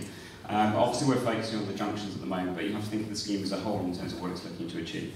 And I think have a look at that and then obviously come back with comments based on that once you've seen it, see the whole situation. In terms of the visualisations that Chris saw, showed you, which I hopefully you can see is trying to accommodate your vision of what's along the, the road as a whole. If I, uh, to stop us being here, you know, if we move on to the next one, Chair. there'll be lots of other... Further question that has not been No, addressed. sorry. No, no, it was, all- it hasn't been answered. It's the one about the turning head. If, if Highworth Avenue is to be closed, can they have confirmation that the turning head, a turning head will be put in there? There is, there is no issue. If we're closing Highworth Avenues off, we can put a turning head in. There's no problem. As you can see, you just take away more, some of the green space will go and a turning head will put in its place. Um, that is, that's not a problem. Now, just I've a question. These are a concept. These are not the final design. This is something we can take forward with you uh, into, into a preferred solution. And the The same is is- true of Do Optimum. Yeah. It's a concept. Yeah. The point is that this will all be up on the website, and if people have further questions that they want to put to, then they can actually do it directly to the city deal and get a, a response. But we've just got uh, Councillor really Manning, brief. Ian Manning would like to ask a question, and Just- Councillor Nigel Gawthrope. Just being And incredibly then we'll move on to I think, Harmony I think as residents we've got to recognise it's very difficult for a, a guy who's kind of, you know, an officer working with a certain remit where they've also been doing things in a certain way because we have those regulations within the UK to be expected to just immediately take on board what we're saying. But at the same time, I think it would be completely remiss not to stress this point about Matthews, Ma- what Matthew said essentially, because I was going to ask the same thing. If they do it in Holland, it can be done here. Yes. And well, I think, I'm not asking you personally to answer this, I think it wouldn't be fair, but I think what you essentially need to say back to your boss is there's a reputational issue here, WSP as a company. Mm. That if we are all saying we are paying you, you, not you personally, we may be paying you a lot of money, I don't know, but we, are paying WSP a lot of money to do a lot of work for us, then we will take that money somewhere else and pay a different set of consultants who can go to Holland and can find how the Holland model this stuff, because I'm sure they do. That said,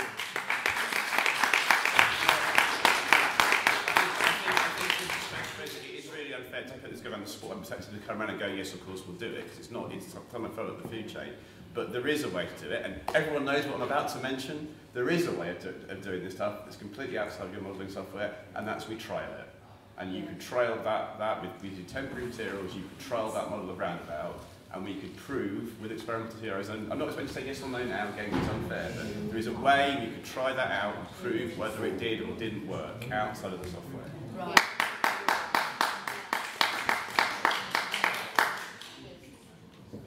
What was I saying? uh, no, perhaps I'm missing something, but in, in um, Can you the give modified them the microphone? Perhaps I'm missing something, but on, on the alternative option two, the, the um, modified, how does a, a southbound cyclist go navigate down Highworth Avenue? Sorry? You'd have to go north of Highway We'll have to go south down, down. as you get there. The signalisers, are we talking uh, option, The last one. the last one, the one on the far right? Yeah, the last one. So you're saying if you're coming southbound Down Milton Road. to Milton Road, How do you navigate down Highworth Avenue? Down Highworth. Do you mean Oh. from Highway? From Highworth. There are many sites. No, no, to Highworth. to Highworth, you'd have to, if you were coming southbound, you would need to come along, stop, take the crossing over, and then you'd be able to That's what- through. that's what I was missing. I mean, all I can say is in terms of uh, WSP's reputation, I mean, we are obviously looking, using industry standing modelling uh, with our experts to best represent what's being put forward to us to help inform design going forwards. There are lots of regulations in terms of design has to go through safety audits. We're trying to come up with a solution with you that uh, captures your elements of, of the ethos of what you want to have, a boulevard of trees along the road, the accommodation of better cycling and walking, um, whilst also maintaining a certain level of uh, capacity for vehicles along the road. Um, and we are using the modelling software as best we can that's available at industry standards to do that. Uh, I'll just leave it at that point for now. Now we'll move on to Arbury Road and Union Lane. Thank you. Okay. So,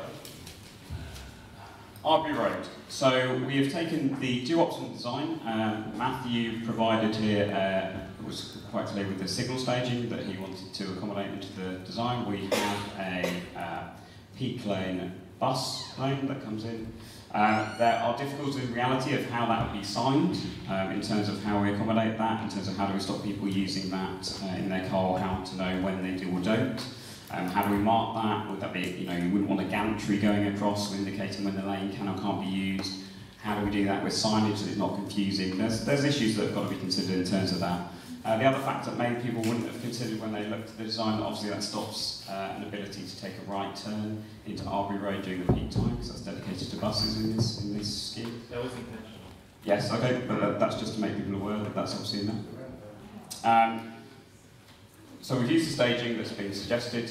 Um, obviously got the bus lane being put in. Um, the level of staggering that's in here at the moment, um, that wouldn't be uh, achievable in terms of uh, manoeuvring of vehicles. It's, it's too tight to switch directions. So again, that's needs to be ironed out in terms of uh, some of the alignment and some of the footprint that's uh, with this junction. Um, so again, looking at this junction, um, what we're seeing is, uh, in terms of inbound, we're seeing again almost uh, more than a doubling of queuing. Um, that's with, I guess, the bus priority that's there, uh, taking out that lane, leaving a single lane coming through. Um, so in the MP, there's an increase there. On Arbury Road, we're seeing that as well. With a six-stage uh, junction here, every time you have a stage in the signalling, that also takes away some capacity from the junction, adds a bit of extra delay. Because we've got a dedicated uh, pedestrian stage, cycling, and we've got the boss early release, that all kind of starts to add up in terms of delay within the junction. Um, you're again seeing um, on the Milton Road outbound, you're seeing an increase in queuing again uh, in the Do Optimum, and you're seeing that on Union Lane. So in, in all aspects of this, this particular junction, we've had to relook at that in terms of how we can best uh, make this make this work.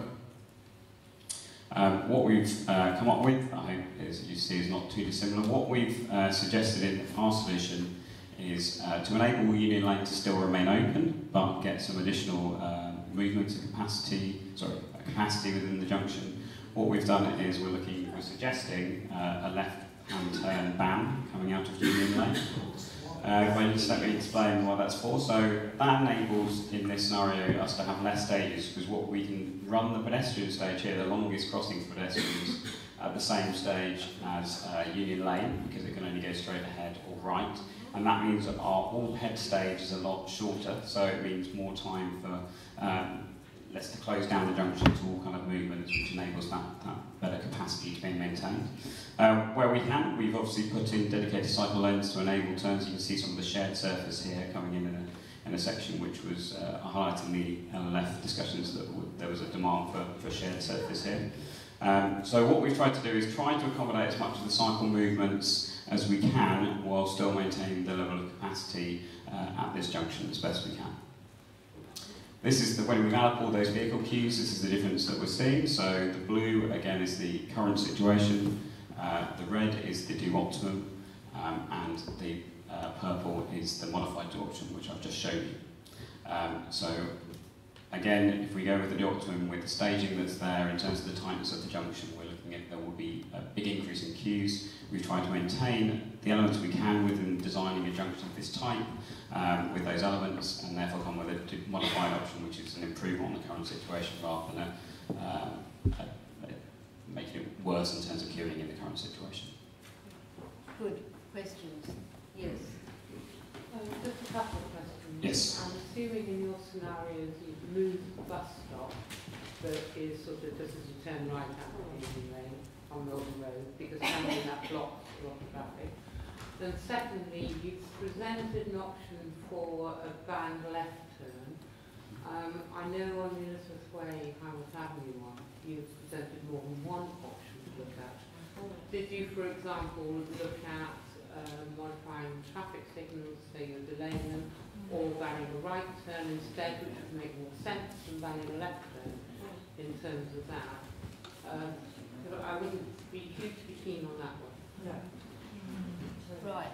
Um, yes, down the front here. Yeah, I mean, would it be a fair summary to say that all these junctions are actually worse for cyclists than they currently are? I mean, the Elizabeth Way one, we showed loads of accidents on the roundabout, and the improvement is to have the same roundabout, but traffic going past, but the logical consequence would seem to be faster cars hitting the same cyclists and having worse accidents. And then on Arbury Road, you've got a, a cycle lane in between two lanes of traffic.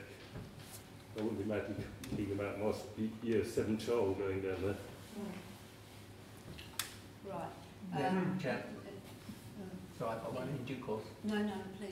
Yeah, you I just want to be clear that what we're being shown are these great long red lines, the increase for do optimum, that's all vehicles. But actually, who gives a a toss about all vehicles? You're trying, this plan you tell us is to get the buses through quicker, and yet there's no modelling that shows what the achievement is on that Arbury Road junction, for instance, of, the, of getting the buses through, with the head start uh, and the separate bus lane. I'm not comfortable that the modelling is, is a, in accordance with what's trying to be achieved by the whole of the city deal plan. Up the back there, yes.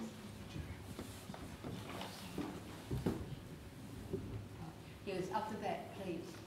Yeah, with a white coat on. You've got your hand up. Somebody's got their hand. Please, stand up. Could you stand up? Everybody at the back who wants to ask a question, could you please stand? Yes, please. Ask your question.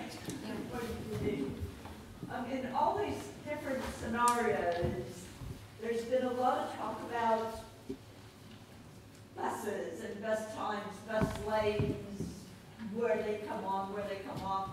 what, what is the level of bus travel that actually goes down Milton Road? Because I go down Milton Road quite a lot, and it's very rarely that I actually see a bus.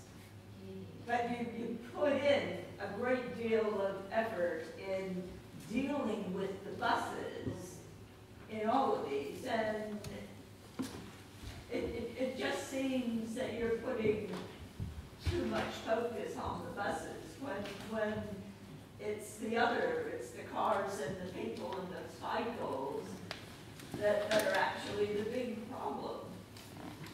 How many buses are there?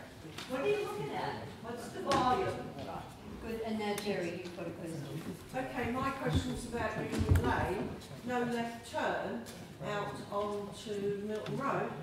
That's going to cause the problems, like we said originally, like even if you close it, with the high street in Chesterton. Mm. You're not going to get, no, the traffic's not going to wait there because then they can't turn left. Mm. So then they're going to come all the way back into the high street.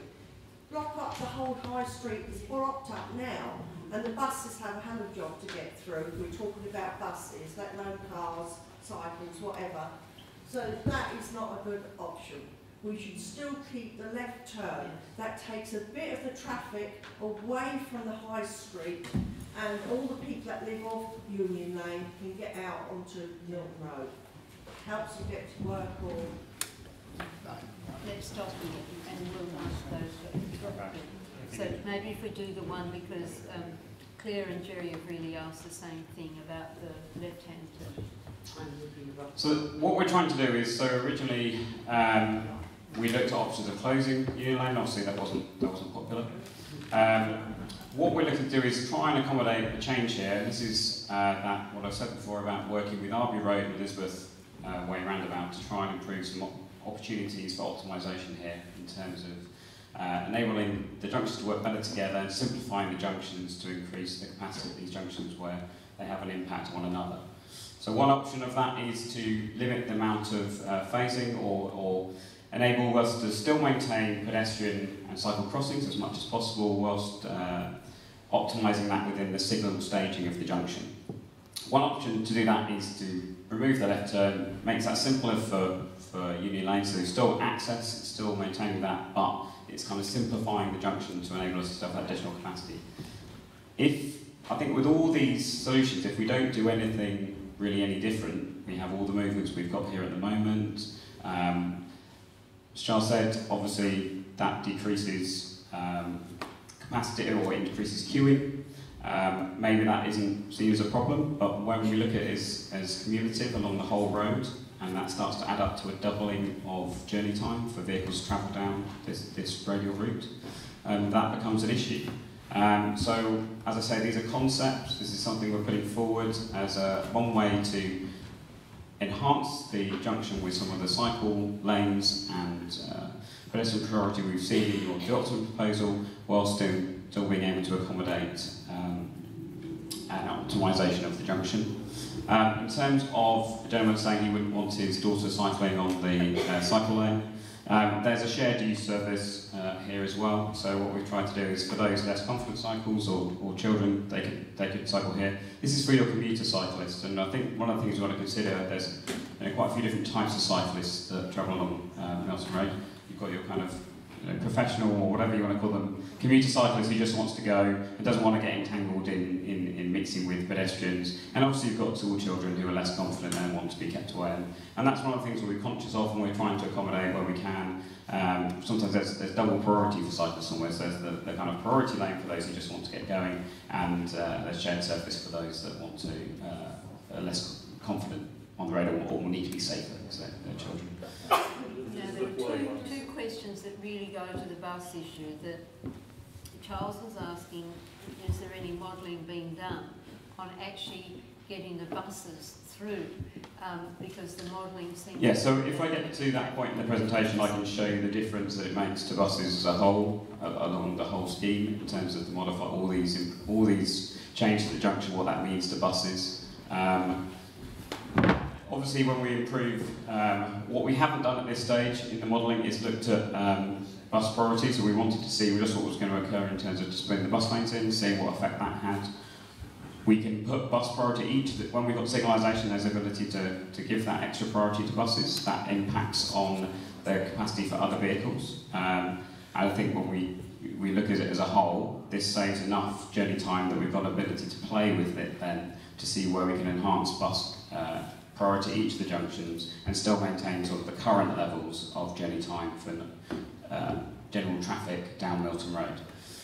Um, there was a general question about we see hardly any buses coming down, so why are we concentrating on buses? Okay, um, what we're looking at, as Chris has uh, said at the beginning of the presentation, we're not just looking for now, um, we're looking for 2031. Um, we've got Water Waterbeach coming forward. I know some of these discussions we've had at the beginning of this presentation, but we need to provide people with the opportunity to not be in their vehicles, to, to give them as much public transport opportunities as possible. So it's not about just the situation today, it's about the future and be able to provide additional uh, capacity for buses or an enhanced frequency of buses down Milton Road to deal with capacity that's going to want to travel into the city in the future. Um, just, um, uh, Jerry's got a question, but I just want to say too that there was a proposal put forward in relation to Union Lane that we have staggered uh, Yes, yes. So we. And, and so, I mean, I, I think my own view is that if you have staggered lighting there, then at peak times, then you actually handle the matter without having to have a right uh, turn ban or a left turn ban, and you get traffic out of. So we have we have looked at that. Um, we've looked at having to alternate staging, so uh, the Union lane would be made to wait longer to before it's released. Um, I haven't shown those results, but effectively it's worse than the solution we put forward just because you have to have a dedicated stage of the signalling for Union Lane to have all those releases rather than interweaving it with some of the pedestrian stays by banning the left turn.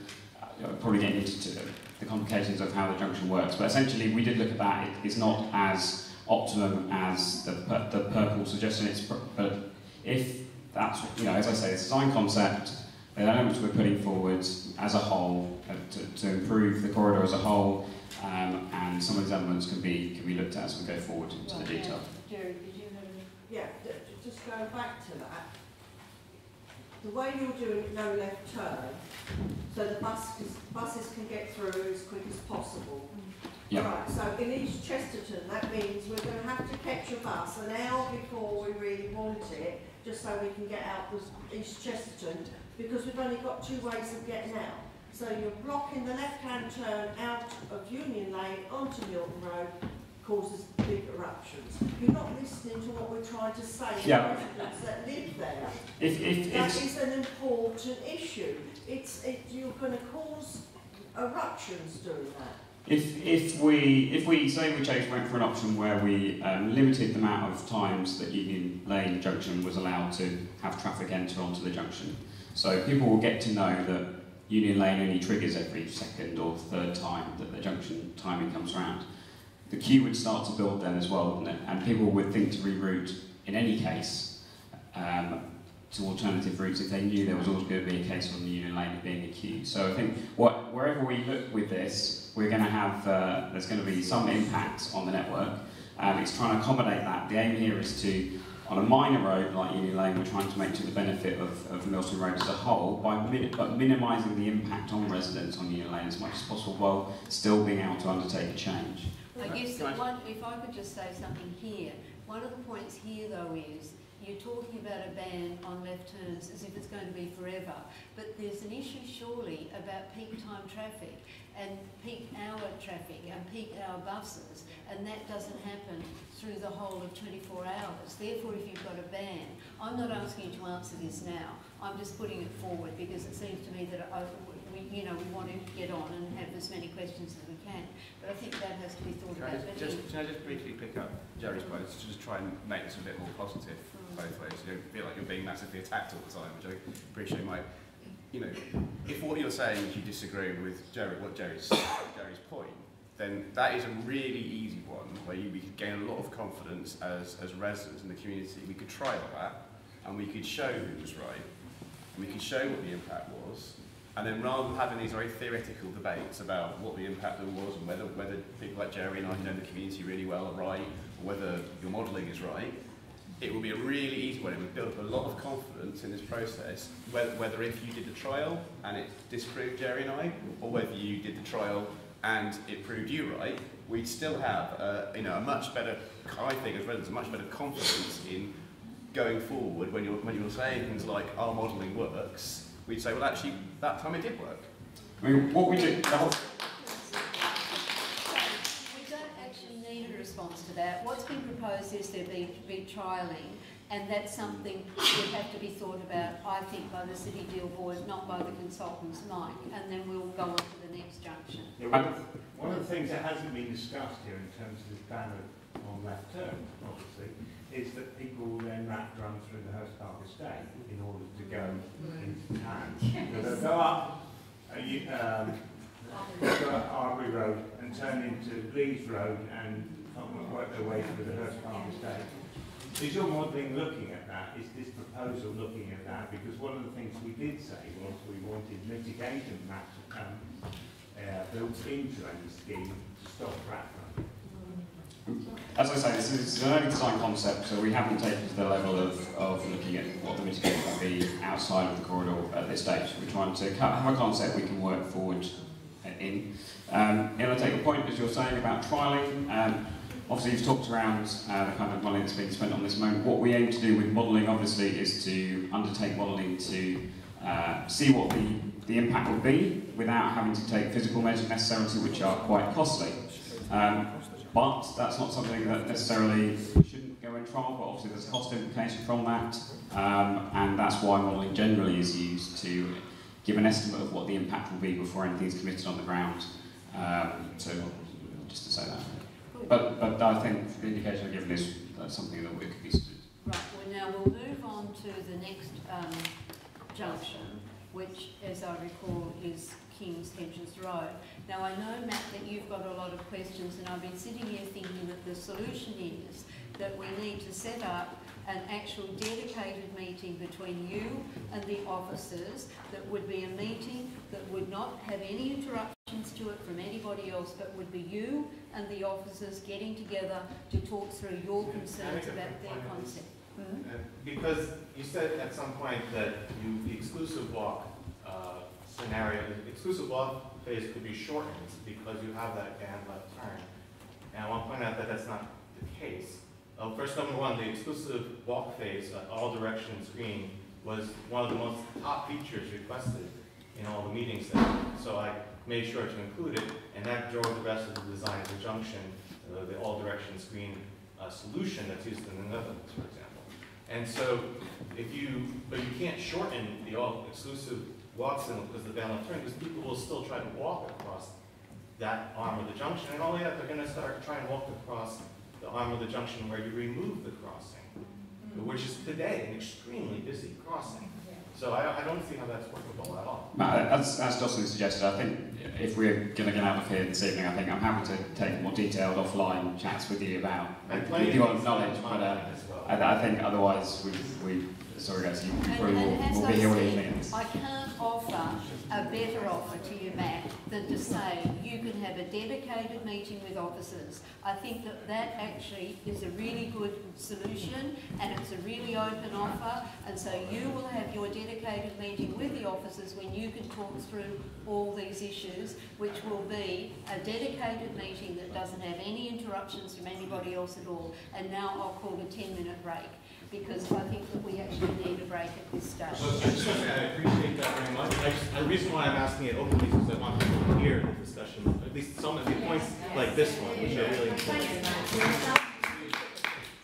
Please, um, may I just say that at the beginning of this meeting, I did say that I would um, confirm the um, timings of traffic on Milton Road.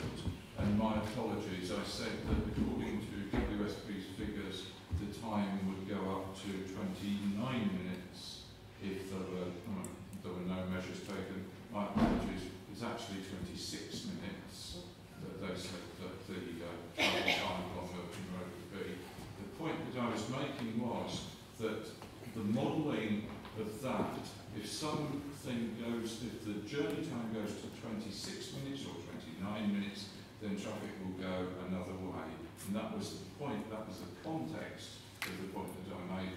My apologies, old age just crept on, and I forgot that it was actually 26 minutes. Thank you very much for that um, clarification. So let's have a break, actually for five minutes, I think, and then we'll come back. Thank you. And we'll do, deal with the King's Hedges intersection. Thank you.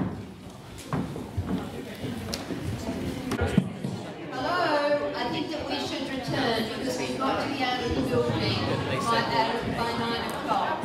So if we all come back, please, and in this interim I will say, I just have actually the information to respond to your question, Richard. The meeting of the 6th of July is an absolutely open meeting, so we'd be really pleased if you along with your video camera and video the whole thing. It's a general meeting, an open meeting of the City Deal Board.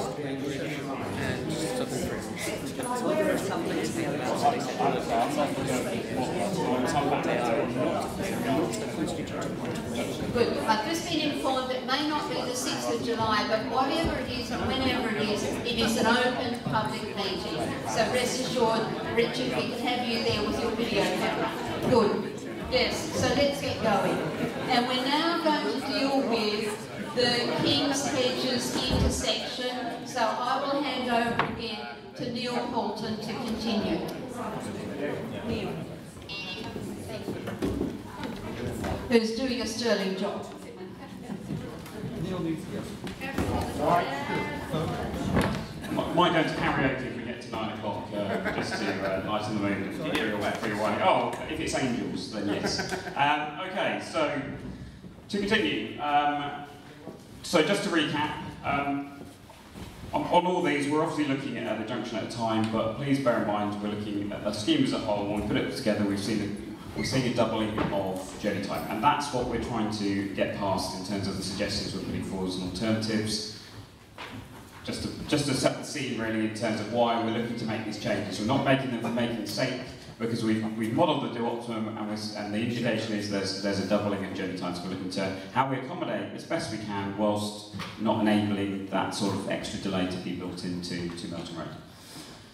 Right, so King's Hedges. So just to, um, again, we're looking, uh, there's two suggestions that were put forward in the um, do optimum. There was a Dutch style roundabout and there was a signalisation of the junction. So um, hopefully on one of these we can come to an agreement on more so than the others. Um, again, we've got the same issues uh, as we, we've talked around. The, the difference here is obviously Elizabeth Way is a roundabout at the moment, um, and here it's a signalised junction. So when you generally take a signalised junction and return it to a roundabout, regardless of whether that's a Dutch style or whether that's a standard roundabout, um, if there's an imbalance of flows, so if there's a lot of traffic trying to come across Milton Road, um, these other arms on a roundabout may not get a look in um, to particularly say if there's AMP running across here or PM or outbound running across those people trying to get out those lesser junctions with lesser amounts of traffic really don't get necessarily get a look in into the junction. So just to set the scene for that, if it's an imbalanced junction. That's exactly what we're seeing on here. So although we're seeing improvements on the other arms, as you might expect, because now it almost becomes free flow, uh, so we don't have a massive amount of, of demand coming from Green End Road, but we're getting a lot of free flow coming through here, so that's great. We've seen um, benefits, um, or certainly benefits coming in on the AM and the PM, but not going out. There's a bit of additional queuing. But the issue becomes on King's Hedges Road, it's just not getting the ability to, for those vehicles to access onto the junction. And that would generally occur, I mean, it's, I think it's heightened because of the Dutch style uh, roundabout, but we're seeing that anyway. Um, so based on, you know, this is increasing from around 10 uh, metres of, of queuing to 60, that's quite a significant increase, six times the increase. So I think whatever we look at here, we need to look at it in a signal sort of uh, capacity rather than in a, in an uncontrolled roundabout. So what was put forward as the other option in the do optimum was a signalised um, is a signalised uh, junction with improved pedestrian um, spacing, um, increased green, green space, and we've tried to replicate, and hopefully uh, you can recognise the, the, you know that within this junction. We've tried to replicate as best we can, whilst also taking on board uh, highway design standards, um, to replicate essentially that design um, as best we can. We, it can't be taken as close as, as this is indicating, it's just not possible with the, with the vehicle turns that need to be accommodated. Um, but otherwise, this is almost as, as good a replication as we can of a signalised junction that we can, we can accommodate. Um, what we see here then is um, the blue is the current situation, the red is the do optimum, and the purple is the modified. Um, the difference of why, obviously, we've seen with the um, do optimum scenario, because it's, it's, it's brought in um, that more and there's a, um,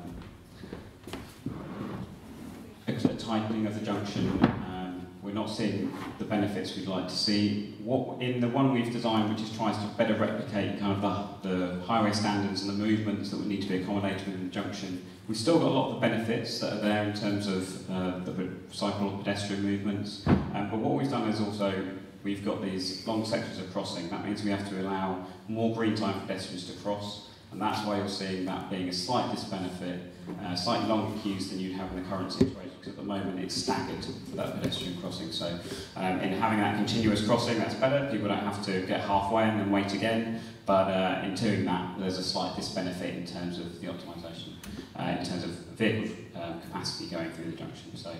Um, it, again, it's that balance, it's balance coming through. So hopefully of all those, that, that is the one that hopefully, um, or we feel most, you know, you will hopefully be happiest with um, in terms of what your vision looks like when it comes to reality and trying to accommodate that for you. Right. Good. Now open the questions and Matt, you go first because I No, stopped you last time. Please. people go first. Yeah. Please. All right, all right. Um, uh, go back to the roundabout uh, diagram for a moment, please. Thank you. Also, uh, thank you, Neil, for going through all this. I didn't say that before. uh, the okay, so uh, again, it does appear that the modeling software is having some issue with this type of roundabout. Though I will say, that, to be fair, this one is smaller than the Highworth Avenue junction. Highworth Avenue junction is much larger in space.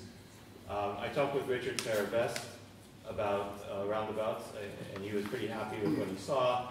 Uh, he did suggest that this one could use a larger island, so that is something to take into account. I looked into whether that could be done, and yes, it can, at least within the constraints that I had used. Uh, we could talk about, you know, specific details later. Uh, the, uh, let's see, can you go on to the next uh, drawing? Uh, next slide, sorry. Uh, King's Hedges Road. Matt, is there a question, just so... Yeah, okay. Um, basically, I think my point stands. We, we still have the same the same issue with uh, with uh, modeling and, and the roundabout. Uh, can I just ask a question about the the, jun- the uh, signalized junction design that you put forward? What's the uh, timing plan here? Uh, how do you get people across this junction, and as you said, the longer distances? So the, so a longer all green stage for pedestrian movements uh, within here to enable those movements to occur. So, So it's essentially the same timings as we've got in the current junction at the moment, essentially the same staging, but we've increased the um, green time that's available for the pedestrian movements. When does, the, Uh, when does the pedestrian movement happen, and when does the cycle movement happen? Does it happen ex- in an exclusive phase, or is it? Again, if we're going to have a meeting, Matt, I'm happy to talk through the details, but um, in terms of going to trying to keep it higher level at the moment rather than getting into the detail stages, but we can have that sort of discussion at some How point. about other people? Right, now, we'll have three more questions. Yes, they're in the purple shirt, and Anna, and is there another person who'd like, oh, yes, yes, down there. Good, so one, Okay, my two, question, three. okay, my question, um, from the data that you've just shown us, there is only one disadvantage of the Dutch style roundabout is those people trying to gain access from King's Hedges Road. If you go back, that, that, that's the only issue, is it? Uh, well, you've got the results in front of you there. So we've got a massive amount of queuing occurred. The modelling is indicating that King's Hedges Road will have a, Okay, a, my a large amount of is, queuing. is that, sim- that, that, the, um, the problems with King's Hedges is simply in the, in the peak time in the morning? So if, if that Dutch style roundabout was, um, traffic light controlled for the peak hour, that would address that problem. But for the rest of the day, avoiding the two peak hours, if it was, the, the, the lights were turned off, it would then run itself Yeah. without any issue So just for those two peak hours, morning and evening, it could be light controlled. The rest of the day, it could then run itself, and we all know that a roundabout will run at up to about 150% of its supposed capacity. It's just the way it works. Oh, Good. okay. No, that's right. Um, now, Anna, what- what's your if- question? I'm Sorry. sorry. Yeah, yeah, I Anna. wanted to ask if you could just explain what is the benefit of uh, making it one long crossing rather than having the island in the middle? Is it simply to give the extra lane? Because it would seem to take longer to get pedestrians across that very long crossing. So I Right, wanted you no, just to explain there. that. Good. And then there was a third question. Yes, please. Uh, it seems to me that all I've seen today is all about car priority, not particularly bus priority or walking priority or cycling priority, uh, the whole of the time. And you're talking about cars the whole time. And yet, what will actually happen is that you actually haven't put in anything about uh, the controlled parking zones that are going to come in, uh, the workplace levies, uh, some way maybe to go round the centre of the city so the cars won't be coming in.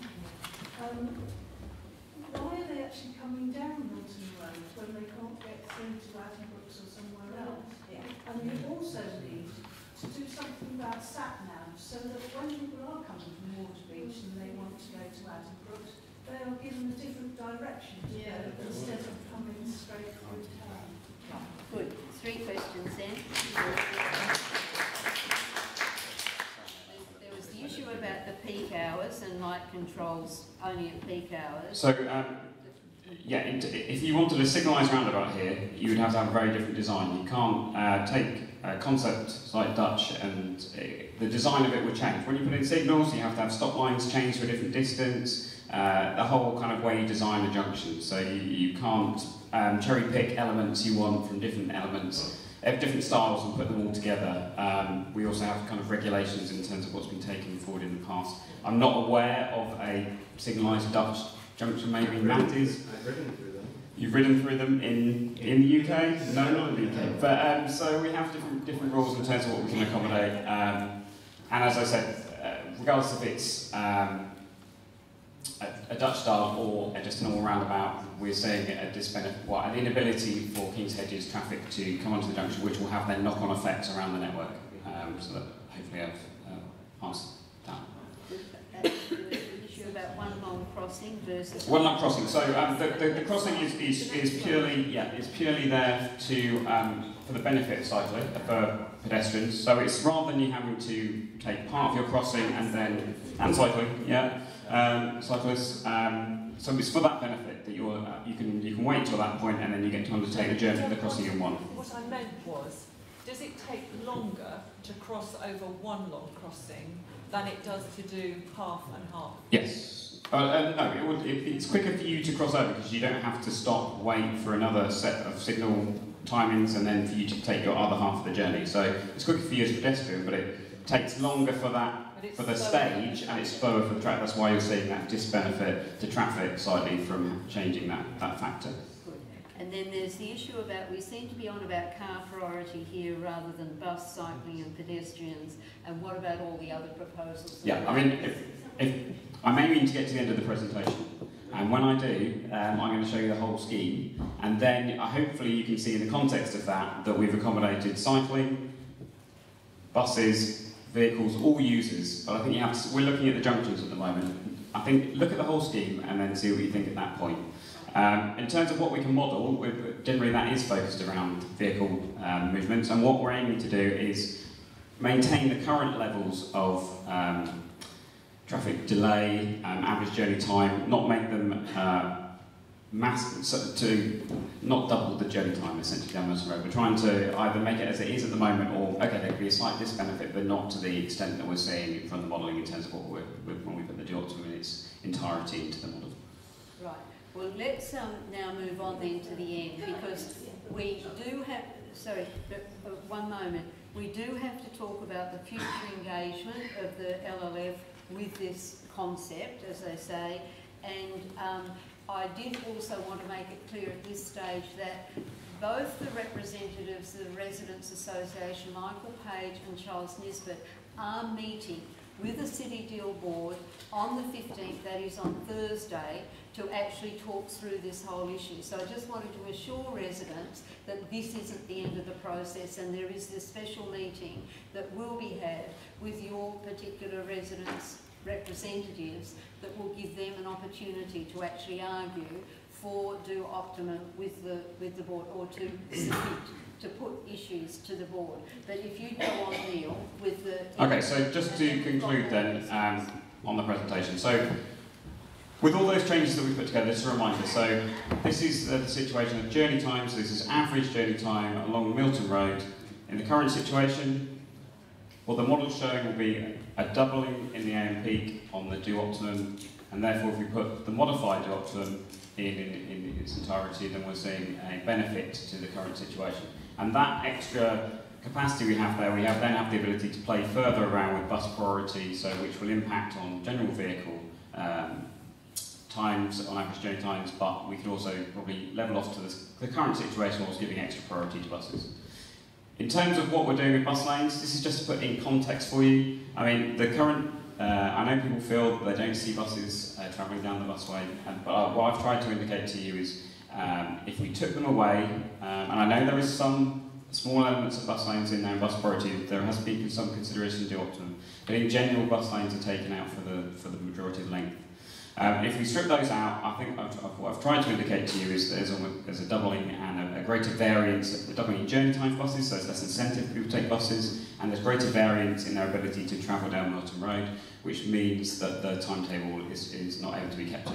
What we're suggesting in the modified do optimum is essentially only an extra 240 metres of, of bus lane. So we're not trying to dominate the space of bus lanes. What we're trying to do is uh, better use the bus lanes where we can in terms of splitting them so they're not on both sides of the road but optimising it in terms of and when you see the final scheme in a minute you can see where we've, we've moved them from one side of the road to other. Um, at the moment the modelling doesn't include for hurry calls or junctions or priority at the junctions which is something else that we're going to be looking at.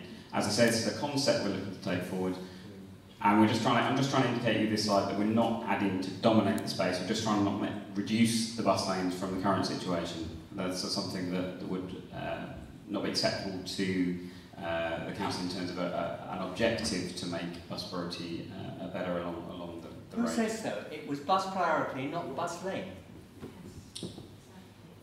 The, well, it's still the same situation. If we take out the bus lanes that are there at the moment, there'll be a worse situation for buses travelling down Milton Road. I don't think that the managing director of the bus company here wants bus lanes all the way. We have had a, a meeting with Andy and we have talked through where he would where he would like to have them and that's been accommodated in the design. So we've uh, fully consulted with Andy uh, Campbell on, on where he would like to see uh, bus priority. And what we also need to consider is we're talking around the current situation, not the future situation, where we're going to have a lot greater use of buses. Anyway, moving on so we can finish the, the presentation. Here we go again. So we're looking at, uh, again, bus, this is what I'm trying to talk around about the bus reliability. Uh, this in, so again, current, in, outbound, we're seeing um, current situation. Um, there's not a massive amount of uh, change, but that's because there's not a lot of bus lane here at the moment. We don't have so much on the outbound because that's not uh, where they're experiencing the biggest, biggest issues, but the um, modified uh, do optimum does, does make an improvement. What we do see though on the AM, so this is inbound into the city in buses, uh, the current situation, uh, that's the average, that's the variance, this is the issue which would be uh, situated with if we do the optimum, and therefore where we've put in the bus lanes aimed to optimise them, we're seeing a benefit over the current situation, which is what we're aiming to achieve, and that would likely uh, increase once we put uh, hurry calls and other uh, priority movements into the signalisation um, of, of the junctions. Um, so what we've aimed to do, although uh, I know there's a lot of other um, opinions, is try to look at the design considerations and make sure that a do optimum scheme is modified to meet all of them. So does it meet all the project objectives? We believe the, uh, the modified uh, suggestion we're putting forward does. Uh, does the design provide sufficient infrastructure to improve bus journey times reliability? We believe it, it meets that. Would it perform safely? We believe that we've designed it uh, in terms of the junctions where, where it has a better um, do that. And it's compatible with design guidance and standards which the Do Optimum uh, we've obviously looked to try and accommodate, but wasn't in its design as it was presented to us initially. Um, key layer is most suitable in achieving the right balance, and it is that balance between traffic delays and improved bus journey times. That's what we're trying to do. And does it fit within highway boundaries and existing drive accesses, which, um, again, the Do Optimum didn't consider and we've, we've aimed to consider in terms of what we do. So where does that leave us? So this will be online, um, so you have the uh, ability to look at this. Obviously, we're not asking you to uh, uh, make your decision or, or be able to take it all in at this moment. But what we've presented, therefore, we're going to do is provide a design concept to you um, at this stage, um, which, if agreed um, in, the, in terms of a concept by the City Deal Board, detailed design will then be taken forward to work it up with the LLF and with stakeholders. So we're looking for a, a base in which we can uh, move from. Please note, in terms of what I'm going to show you now, elements we haven't considered this time are in terms of bus stop locations, because we do that in consultation with yourself and Stagecoach. Additional pedestrian crossings outside the junctions, again, that's something we're happy to discuss with you and identify where those would be. And detailed planting schemes, we've given an indication, um, but obviously we need to do uh, further work in terms of that with officers and, and, and experts in the LLF. Um, so what we've produced is essentially um, the do optimal scheme is, is the below, and then our do modified scheme is above. And what we've aimed to present to make it as easy as possible for comparison is to try and match the style that's being presented. So they're both kind of indicative. The trees, we have looked at where we can put trees based on where the drive access, I know we're not showing the accesses, so we don't want to clutter it up, but what we've done is shown where we could probably accommodate trees, but I'm not guaranteeing in you that exactly that's where a tree is going to be. Obviously, this is just an indication. So on each stage of the um, of Milton Road, in terms of the residents, in terms of the do optimum, we've got a comparison with what we're proposing as a modified do option um, along the section of the road. We've identified where we've got options for further consideration, where it's, say, for example, Elizabeth Way. Um, so we've taken each section and we've done a direct comparison to make it as, as transparent as possible in terms of what we're suggesting would work uh, in terms of the combination of, of the engineering work we've done and the modelling work uh, in trying to replicate what you've put forward and trying to meet the objectives in terms of accommodating bus lanes while still accommodating the elements of your design. Um, so that, that's there for the entirety. That will be available online for you to view um, and that will hopefully give you a full picture of what we're able to, we feel we're able to justify coming forward with uh, based on the modelling, based on the engineering work we've done to date for this concept, in terms of something that could work to meet all demands on Milton uh, in comparison to yours. So hopefully, it, it obviously has to be different. Uh, they can't, we can't put the do optimum in its entirety just purely in terms of some of that design elements don't work. Um, when you're trying to put it into the real world in terms of, say, particularly the junctions and the turning movements, etc., in terms of tracking vehicles. So we've got a concept here to put forward to have a direct comparison. So bear that in mind in doing that, look and see where you can see, you know, it's not just about spot the difference in terms of other elements, it's about consideration of where we you can see how it's, how this is very different to a do something or do maximum design that's come before. This is very much trying to match with the deal flow as best we can. Good. Thank you. Now, there's three questions so far. Richard Taylor, then Hilary Goy, and then Anna Bradman.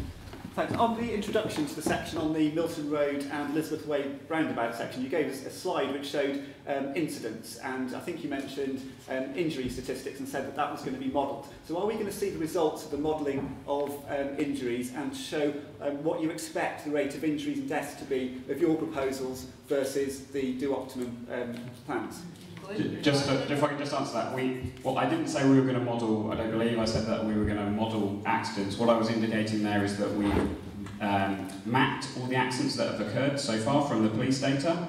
Um, and therefore we've got that in consideration as highway designers when we design something. So in the solution we've come up with, both the signalisation generally um, does, um, because you can have a, uh, you know, allow cyclists to go before um, other traffic. Generally, when you signalise uh, either a roundabout or we went for the, the three arm junction, we aim to have a better safety record. But there's no, we haven't got the ability to model uh, what accidents might be because of the random nature generally of accidents. You obviously look at the, look at the history, look at um, what's occurred with accidents in the past, and you try to learn from that to identify where the black spots are at the junction or where, where the issues are, and you try to accommodate in that design. So there's no ability for us to um, kind of model that and indicate to you what an accident record would be in the future and in these junctions. Right, well now, let's I'm going to, I've, I've got Hillary on the list and Anna. Is there one other person who'd like to, yes, uh, Matt. And we'll have those three questions and we won't have any answer until we have the three questions. That, so please Hillary, then Anna, then Matt. Thank you. Um, how many buses have you seen using the bus lane in comparison with the ones that go down the main carriageway? Right, okay, so buses are not using the bus lanes. I think the suggestion is, so will they use them if we put in new bus lanes? Right, um, Anna, sorry. Okay. Um, bear with me. I'll try to make this as succinct as possible. In the modified do optimum summary, broadly speaking, my understanding is you have tended to put bus lanes back in uh, or retain them. Fine, okay, I appreciate why you're doing that. But in those bar chart data, the do optimum purple bars simply show one set of data for the result of that. But there's actually, we don't care two hoots if cars are queuing for longer, because actually we want that, don't we? Yeah. We want to stop people using their cars. We want to get them onto the buses.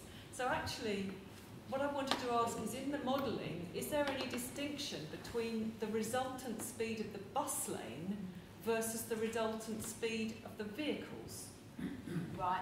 No. Can you answer that now? Otherwise, we'll lose track of what no, the question no, was. we won't lose track of it. No, we're, and we're going to have Matt. Um, I just want to make a clarification for the audience, and then I'll ask the question, the technical question.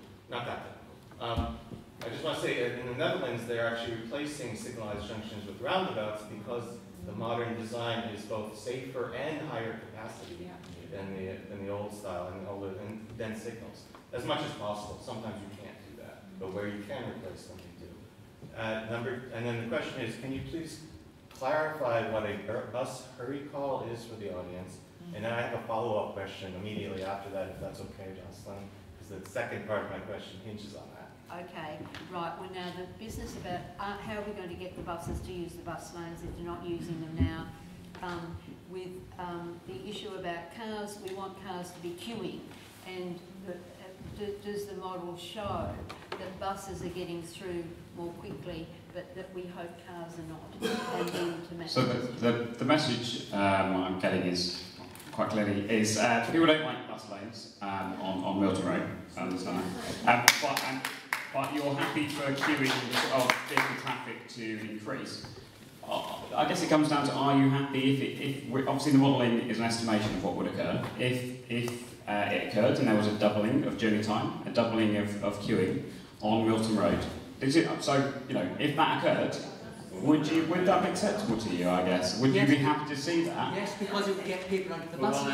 thing. Well, but then to do that, so if we're saying that we're going to increase, uh, we're happy for vehicle queues to increase exponentially and, and a doubling to occur, then how do we, how do we um, therefore enable buses to have that priority? Because otherwise they'll be stuck in traffic. means We need to have to have more bus lanes because we have to have a separate lane for them to travel in that isn't in the vehicle lane because the vehicle lane will be.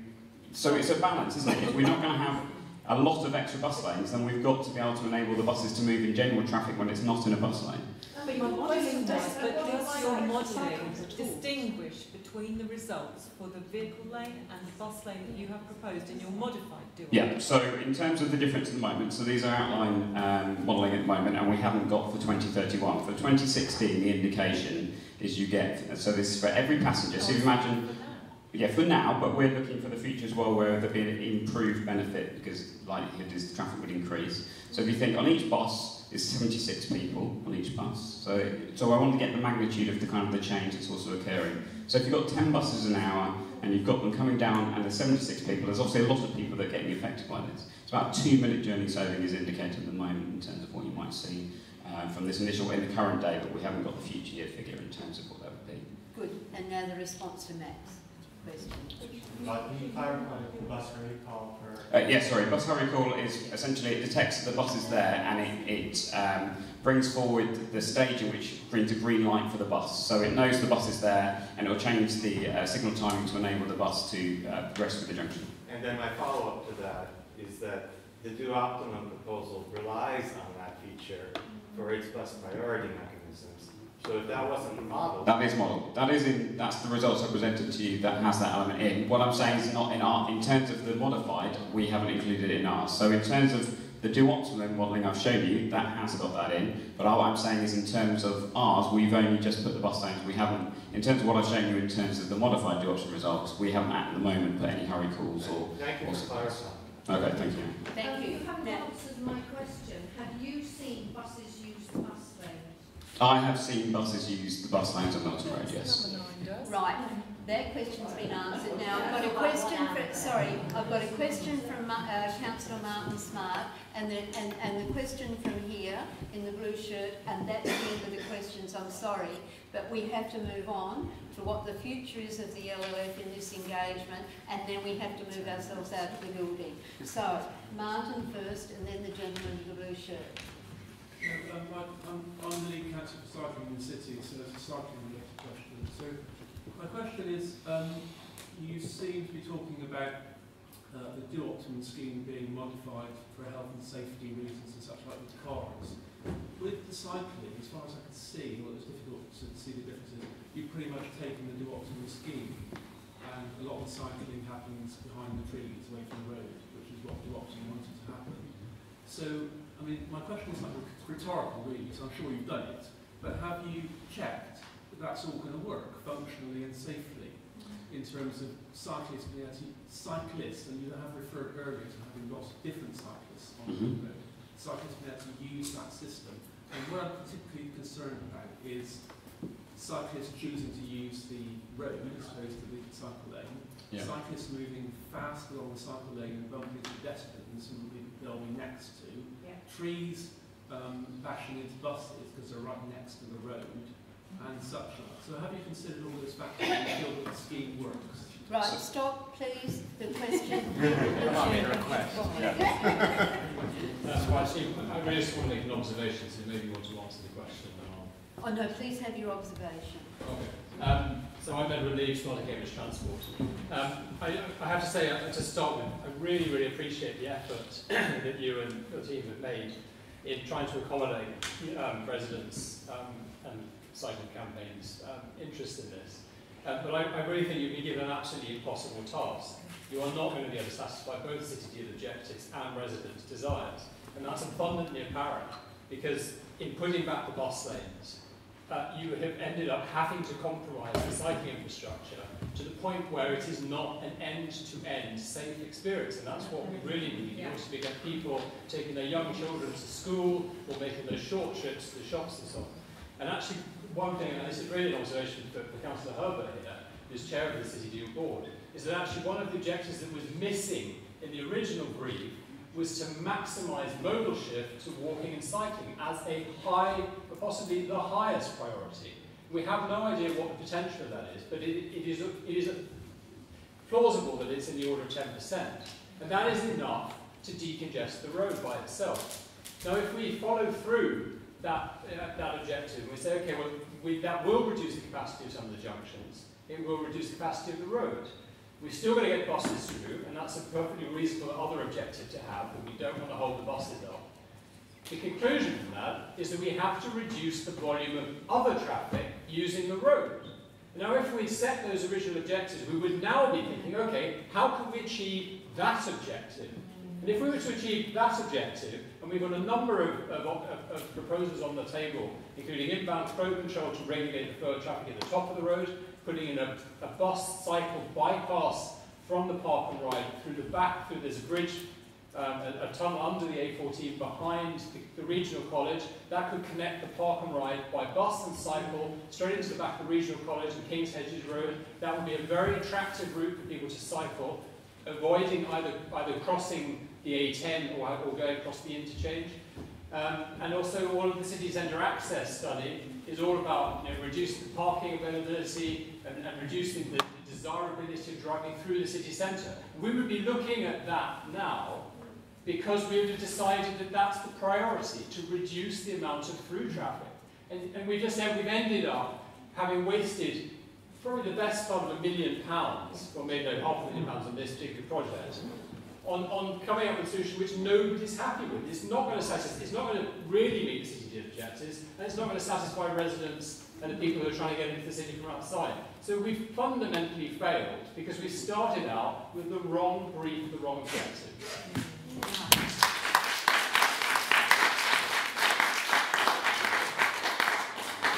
Can we come back to Martin's question and then any response that you'd like to? Sorry, could you remind me of the, the Yes, um, that we seem to have been concentrating on the, the need for modification to ensure health and safety in relation to the car movements and so on. Yeah, in terms of, in terms of cycling. So um, essentially, we're, it's a design concept. We've tried to we, uh, adapt it to an extent, but we, as you say, we've tried to mirror what the residents would like to see coming forward. When we take this into kind of more of a detailed design, we go through a safety audit stage, which we haven't gone through at, at this extent. And some of these elements that where we have got a lot of drive accesses coming out, um, and, we, and we are proposing some of these elements broadly. So broadly, we're happy that um, something could be put forward like this. But we need to go through safety audit, uh, a number of stages of that to check whether it really is safe. So uh, this is a concept, so we haven't got, until we've got more detailed design to actually test for safety, I appreciate some of the concepts we need to be more comfortable with if we're going to pursue that. Um, but at the moment, we're, ge- we're generally happy that this could be done, but obviously each time there's going to be, each access point even, there's going to be a, a specific case in point in terms of what the land, whether there's bushes for that driveway that maybe we, we can't accommodate at the moment. Other elements that might obscure cyclists that obviously, you know, really broad scheme we've, we've not, not accommodated or been able to consider.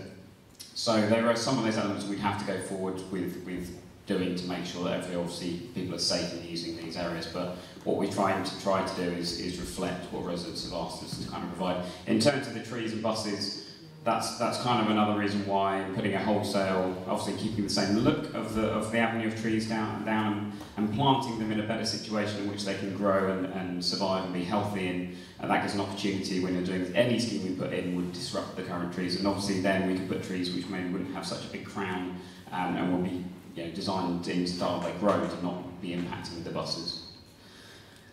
I think that we now should say a big thank you to Neil and to Chris um, for having done the presentation this evening. Thank Okay. you.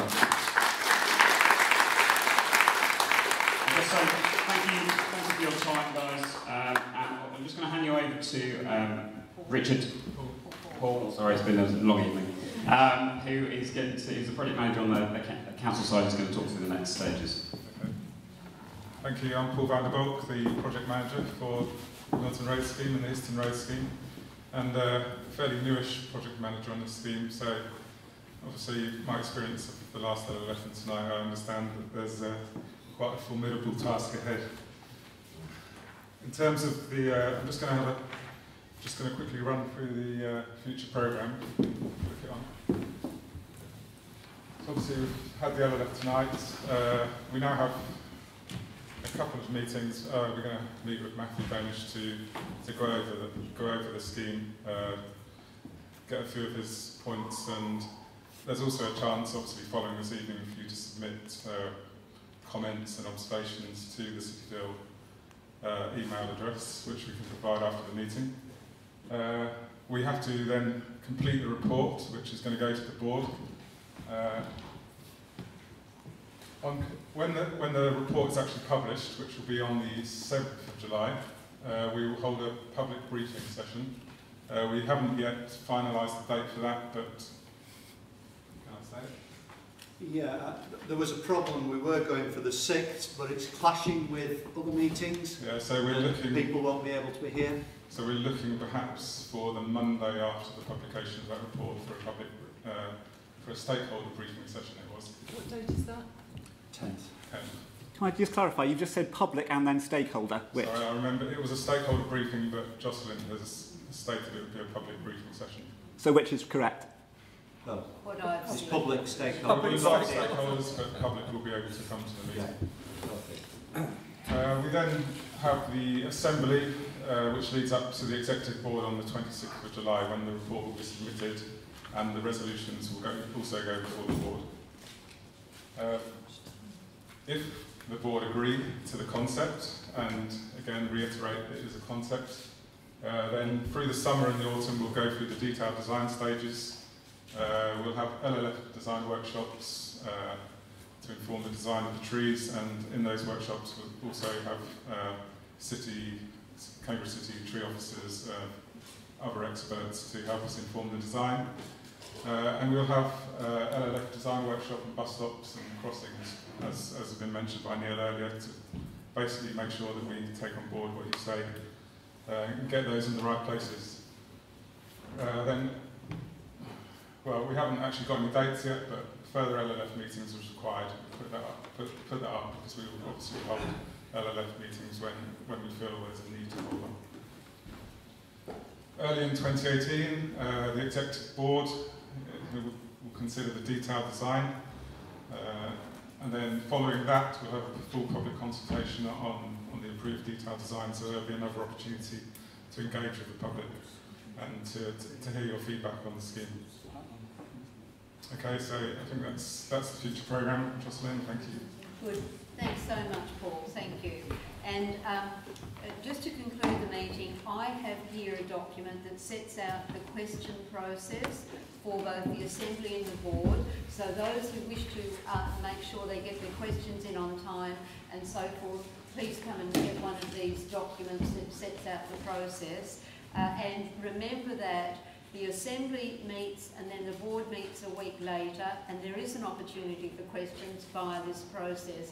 But please do make sure also that if you're asking questions, coordinate with each other so that there's lots of time when we can get feedback from the Board as to, and the Assembly as to the Assembly's view of our resolutions and do optimum and the Board's response then to our resolutions and do optimum.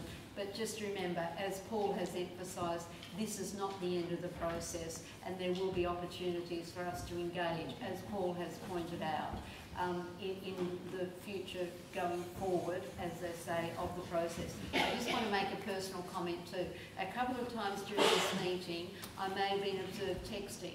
I certainly was not tweeting, I was texting, and it was because both Claire and I were supposed to be in another meeting at 8 o'clock. We're clearly not there, and I did want to do the right thing uh, and advise the people that we're still here, not there.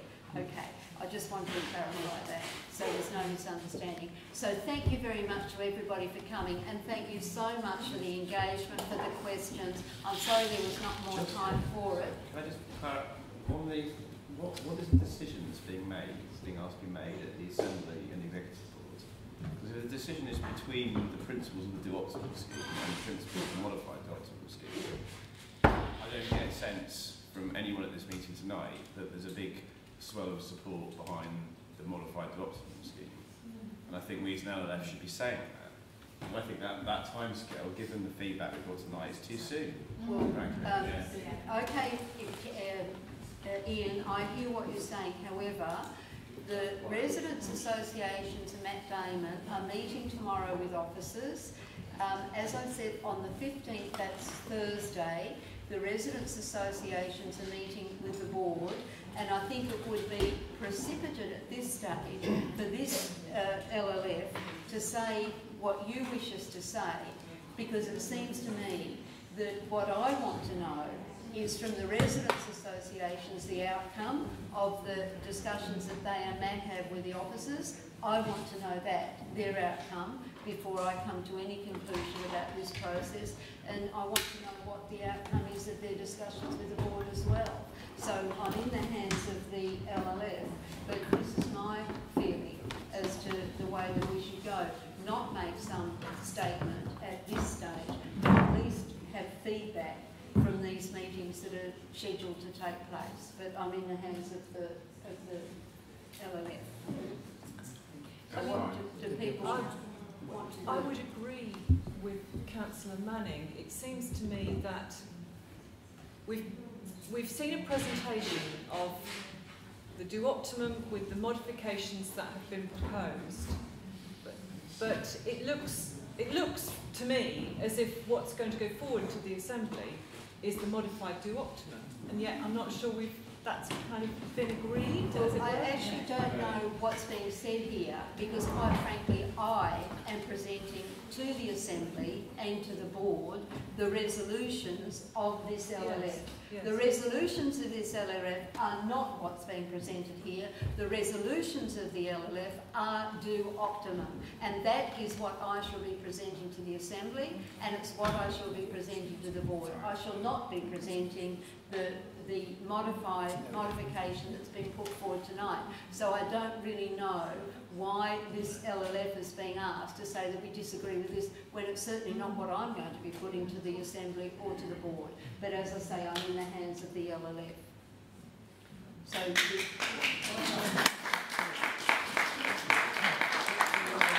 Uh, Chair, could I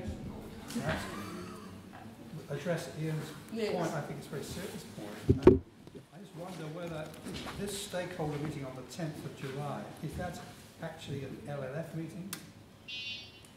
Uh, no, my understanding is that it's a stakeholder meeting with public present, but do- are you saying you wish something to come? I'm just saying that would be an opportunity to make a resolution or two. Well, then, if that's the, the, the approach that we're going to take, let's think about that as an approach, because by that time, we'll have the feedback from you and Matt as to what's happened in the officers' meeting, and we'll have the feedback from the discussion with the City Deal Board, which seems to me to be a much more sensible way to go than to be making some proposition at this stage. So I think we'll end on that note. And I'll say thank you very much to everybody for coming and thank you so much to the officers too uh, for their presentations for the time. And now I think we must remove ourselves. Thank you. And thank you. Well